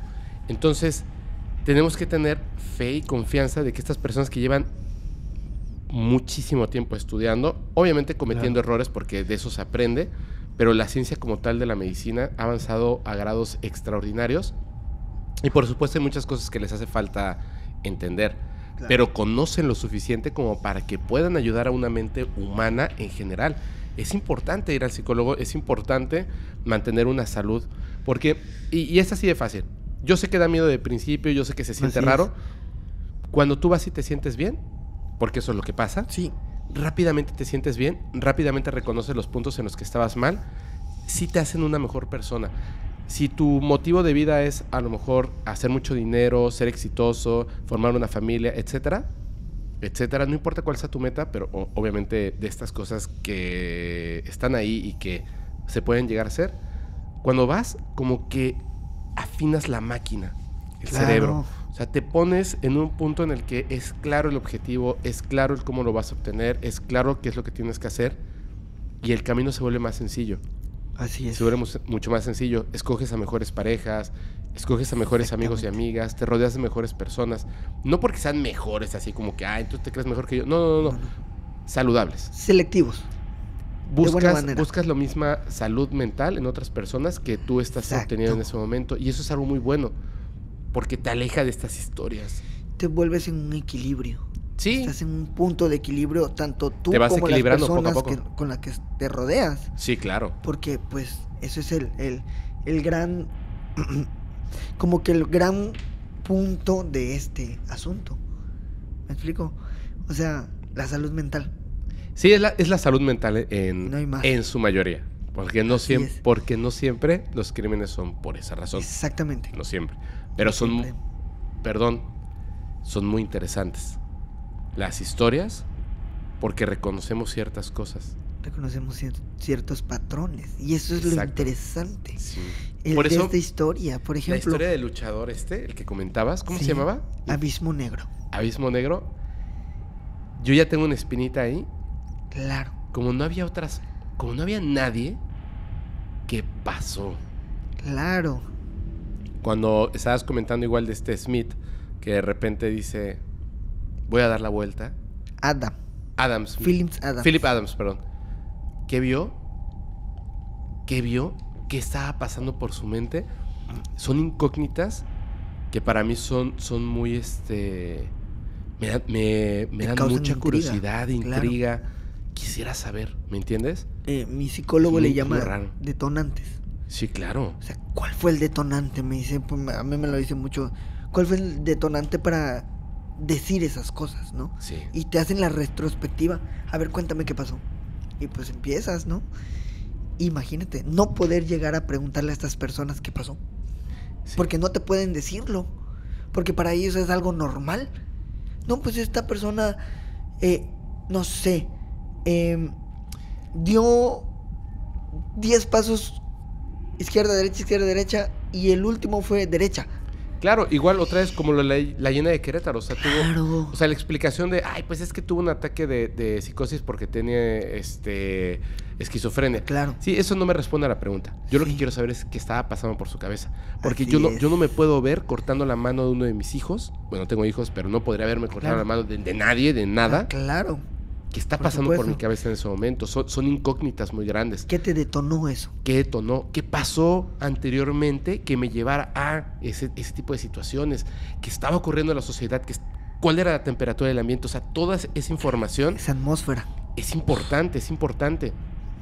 Cuentan historias terroríficas, por supuesto, pero súper interesantes. Entonces, eh, es, es eso y ya. O sea, no, no me quiero, ah, no quiero ahondar muchísimo por no- o darle vueltas. Por favor, dinos cuáles son tus redes sociales y, cierra el caso de lo del ETC. Ok.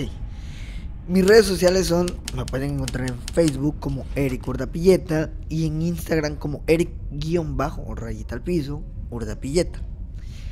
Y pues, para cerrar un poco de la ETC, es, se derivó mucho, o se sigue derivando, y lo peor de todo es que lo siguen ocultando, como si Ujú. no pasara nada. Te comentaba mucho antes de empezar este este, esta gran, gran debate, ¿no? Eh, ok, te dije tres, como que tres puntos principales en los que puede derivar el ETC, Ajá. que era atletas, veteranos y personas con algún accidente o algún golpe directo en la cabeza, ¿no? Ya conocemos qué pasó con los veteranos de guerra. Tenemos muchos, pero muchos desvividores seriales. Ahí está la influencia con Richard Ramírez. Claro, etcétera. está Richard Ujú. Ramírez y muchos. No fue veterano de guerra, pues su primo. Su primo, alguien que influyó directamente a él. ¿Sabes por qué siento que es el temor? Porque ahora son los atletas. ¿Te imaginas? Exactamente, bro. Ya, Ese lo era el dijiste tú. Punto que quería llegarte. Sí, bro, sí es cierto. Ya tenemos la experiencia con los militares, con estos, de todo este problema social, porque fue social las guerras, todo este tipo de cosas, estas cosas bélicas. Pero ahora quedan los deportistas. ¿Qué imaginas que pasaría? Cuando uno de estos deportistas con un problema que fue generado por...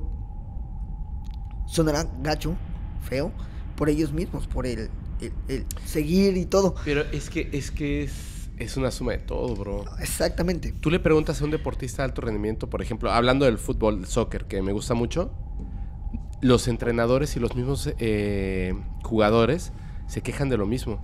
Es que quieren que juguemos el Mundial, la Ah, sí, Eurocopa, así, así, claro. la Champions, la, la no sé qué, la no sé qué, la no sé qué. la- o sea, pausa, Sí, sí, sí, sí, es entendible el punto. pausa. Me explico. O sea, te- necesito descansar. Nosotros no podemos exigirle tan exageradamente tanto a este tipo de deportistas. Y al mismo tiempo, Claro. estamos haciendo eh, invisibles a otro tipo de atletas que reciben cero. Que el gobierno es así como de. "Mm, ay, ay. No tengo. mm, no tengo No hay. dinero. Oye, pero si le estás dando toneladas de dinero al fútbol, toneladas de Sí. dinero al fútbol americano en Estados Unidos, toneladas de dinero al béisbol. Y todos los que hacemos deportes acuáticos, bla, bla, bla, bla, Taekwondo, caminata, etcétera. O sea, ha- hay un, hay un desequilibrio Sí, mental y también social. así es. Y ese es un tema. Sí, Pero tienes razón. Lo que era lo, el tema de los veteranos se está Ahora convirtiendo en el tema de los deportistas. lo Y- mismo. y es grave. es- viene siendo lo mismo. Cuando yo lo leí y estuve viendo, dije, parece que estoy regresando el tiempo. Sí. Te lo juro. La problemática de las cosas que están ocurriendo por eh, lo que están viviendo estas personas en la guerra. Claro. Y que nadie sabe qué hacer. Y se Nadie- está, se está haciendo un caos. Y de repente, y, el gobierno quiere esconderlo. Sí, Y ahora es los deportistas, lo que está ocurriendo. Y por no, toda ya no es el gobierno. social. Ya no es el gobierno. Ahora es empresarios que quieren esconderlo. Así es. Pero el problema es el mismo y el resultado es el mismo. Así es. Y ahora imagínate, deportistas, Crímenes. veteranos, y súmale todo este problema de todo esto. O sea, hace esta mezcla, veteranos, deportistas, todos estos problemas, este caos de que puede un accidente, una caidita, inclusive un resbaloncito en tu casa, te golpeas la cabeza, no pasó nada, no lo sabes y dentro de cinco años vas a detonar cuando alguien te diga, oye, no me gusta el color de tus zapatos, ¿qué? O sea, imagínate, no es broma, no es broma. De hecho, yo con el psicólogo he tenido este tipo de cosas porque me lo dice, han venido personas aquí que lo han intentado hacer. Te juro que... Claro, pues obviamente están ahí Claro, por eso, están ahí.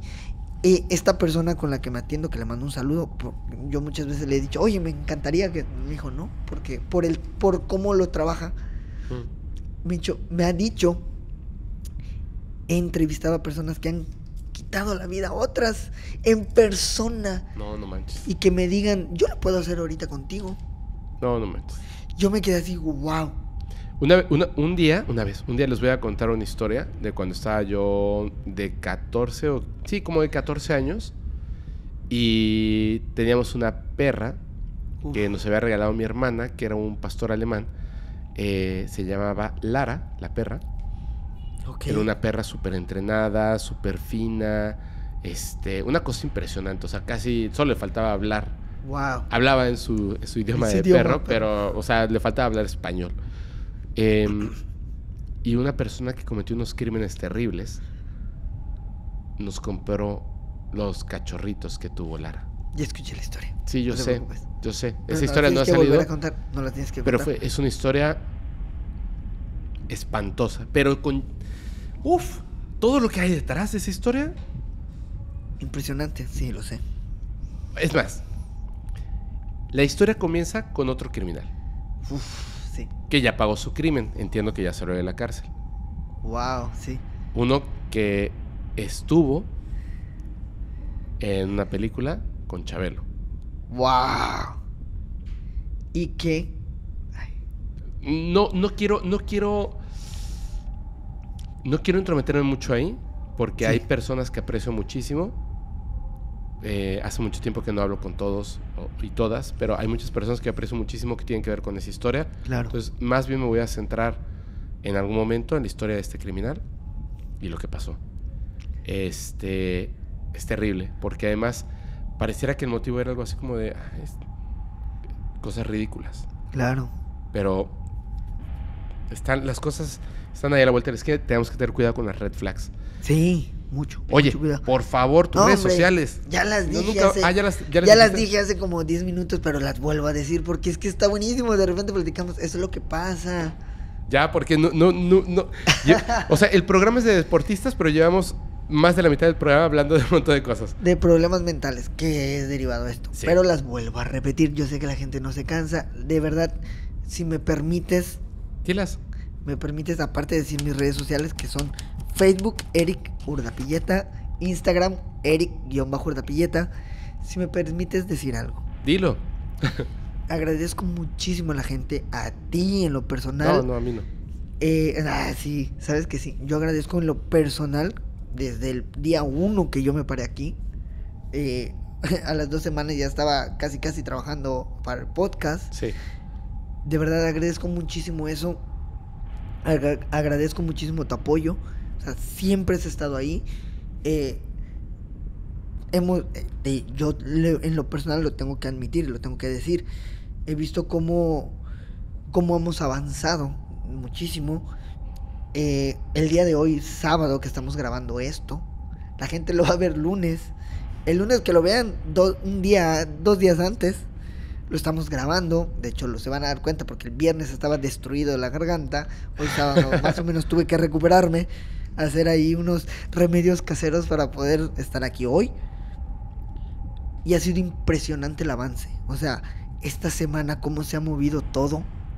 O sea, venir aquí desde las 9 de la mañana hasta las 11, 12, 1 de la mañana. El caso del de eh, viernes, 3 de la mañana. Y hacerlo con el gusto de que la gente lo vea, lo disfrute. Llevarme esa satisfacción que yo en mi vida es de verdad nunca la había experimentado. Y de repente encontrar en mi Facebook, qué padre, eh, vi tu like, tu me encanta de la publicación que hice. Dije, wow, lo estamos haciendo. Estar presente en algo que en mi vida jamás pude presenciar. O sea, que yo jamás pude haber dicho se va a lograr. Que fue el miércoles. Que da- dan estos datos. No tienen nada que ver con criminalmente.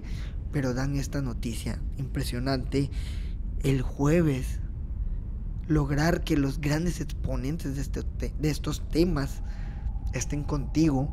La llamada de Jaime Maussan que es, el señor dio entrevistas todo ese día y se tomó la molestia para hablarte. Te juro que casi lloro cuando vi que se conectó. Cuando se conecta Vicente Fuentes. Dije, wow, lo hemos logrado. Pero no digas quién está en cola porque es sorpresa después. No, no, no, no, no. Ya los dijiste en el en vivo. No, no dije quién. ¿Sí? No, te juro que no lo dije. No importa. Bueno, está bien. Los que estaban en cola. Cuando me dijeron, oye, creo que se va a conectar tal persona. Yo dije, no puede ser, no puede ser estar vivo para esto. Es un acontecimiento increíble. No te quiero interrumpir, pero te voy a decir lo siguiente. Y, y esto va para todas las personas. De Dímelo, verdad, porque ya, ya este, este ha sido como el más personal de todos los criminalmente, todos los capítulos de criminalmente, porque hablamos sí de, de los deportistas y el ETC, pero nos aventamos un montón de cosas que pensamos. El, el asunto está, que es algo que les comparto, porque lo comparto con, con- con la- el equipo, Así es, y es porque lo viví en carne propia, y creo que es muy importante. claro. no se trata de trabajar fuerte por trabajar. Se trata de trabajar fuerte en lo que te gusta, en las cosas que quieres, porque a veces eh, han pasado cosas por las que hemos tenido que como pausar y todo, y cuando llegamos ahora de lo que está hablando Eric, eh, fue así como de, no presionar en mala onda, pero sí así como de, de fomentar esta parte de, si hacemos con pasión, con fuerza, con inteligencia, las cosas, y le metemos acelerador, pero ganas, o sea, de verdad, o sea, que las cosas salgan bien, inmediatamente vamos a recibir el beneficio. Así es. Inmediatamente. Y a veces el beneficio, no, no a veces, yo creo que la, la mayoría de las veces no es el dinero. El- yo creo que, que el, el dinero es solamente el final del camino. Y qué bueno si lo haces o no lo haces. O sea, la verdad es que eso no, no es tan importante, pero el beneficio va en otras cosas. Y para mí es la felicidad. La felicidad de- Claro. de, de estas cosas. Yo soy el niño, sigo y, y sigo siendo el niño de 8 años que vio los ovnis en Guadalajara. Y hoy en día cuando de repente estamos haciendo un en vivo y de la nada así de, oye, se va a conectar el señor Maussan, Uf, obviamente, obviamente, estoy muy contento. Y Claro. obviamente el poder haber compartido ahí en ese momento con, con Vicente Fuentes, etcétera, pues obviamente Sí. da mucha felicidad. Y por lo supuesto, por supuesto, uno dice, no quiero estar en el momento, yo no quiero estar en el momento y voy a construir todo para nunca estar en ese momento en el que yo sea una historia como las que contamos aquí en Criminalmente, Claro. donde el desequilibrio era visible y no hiciste nada para detenerlo. Cuando Así puedes es. trabajar, esforzarte, ir al psicólogo y recibir los beneficios de hacer bien las cosas. De verdad. O sea, no se Claro. trata de ser un puritano, ni se trata de ser así como que un moralino, para nada. Pero cuando haces bien las cosas, los beneficios que, que- que se te retornan son inmediatos y son muy buenos. Entonces, creo que eso, es sobre eso. Y me da mucho gusto que, que- que lo estés disfrutando, amigo. De verdad, me da mucho gusto. encanta. Y espero que, que sea mucho, mucho, mucho más. Y además, lo que me parece muy importante, creo que es, es importante, perdón que, que sea redundante, que la gente también sea parte de esto. O sea, que, que hagan un momento una pausa en su vida y digan qué es lo que yo quiero para mi vida hoy. así es. Y lo consigan mañana. Claro. Échenle ganas, échenle ganas, échenle ganas, porque las cosas siempre van a salir mejor y que seamos siempre los que escuchemos estas historias o hablemos de estas historias y no formemos parte ni estemos cerca de este tipo de historias. Así es. Ya me Eso tocó es estar mejor. cerca, ya te tocó estar Ya cerca me tocó, por Dios. y ahora de lejos. Sí, ahora de lejos, no, no, Siempre. no, no, no, siempre, siempre. Por eso es importante este, este, este tema. Y qué bueno, qué bueno que a, a pesar de que fueron historias que tú recopilaste, yo recopilé, y que hay miles de historias de esto, porque un la montón, neta hay un hay montón, montón. hay una lista en- enorme, se volvió personal. Mira, ya, Me se, gustó. ya se volvió súper personal. Vamos a terminar con esto. Venga, Le- vamos a hacer una promesa a la gente. Sí. Digo, esta esta es súper personal. Como les dije al principio del capítulo. Pero, pausa. La segunda parte y la tercera parte uf, nos vamos a centrar en las historias. Por favor, para que la gente escuche directamente las historias. Ya no lo hagamos personal. No, no, no, no. ¿Va? ¿Y ¿Sabes qué va a ser lo peor?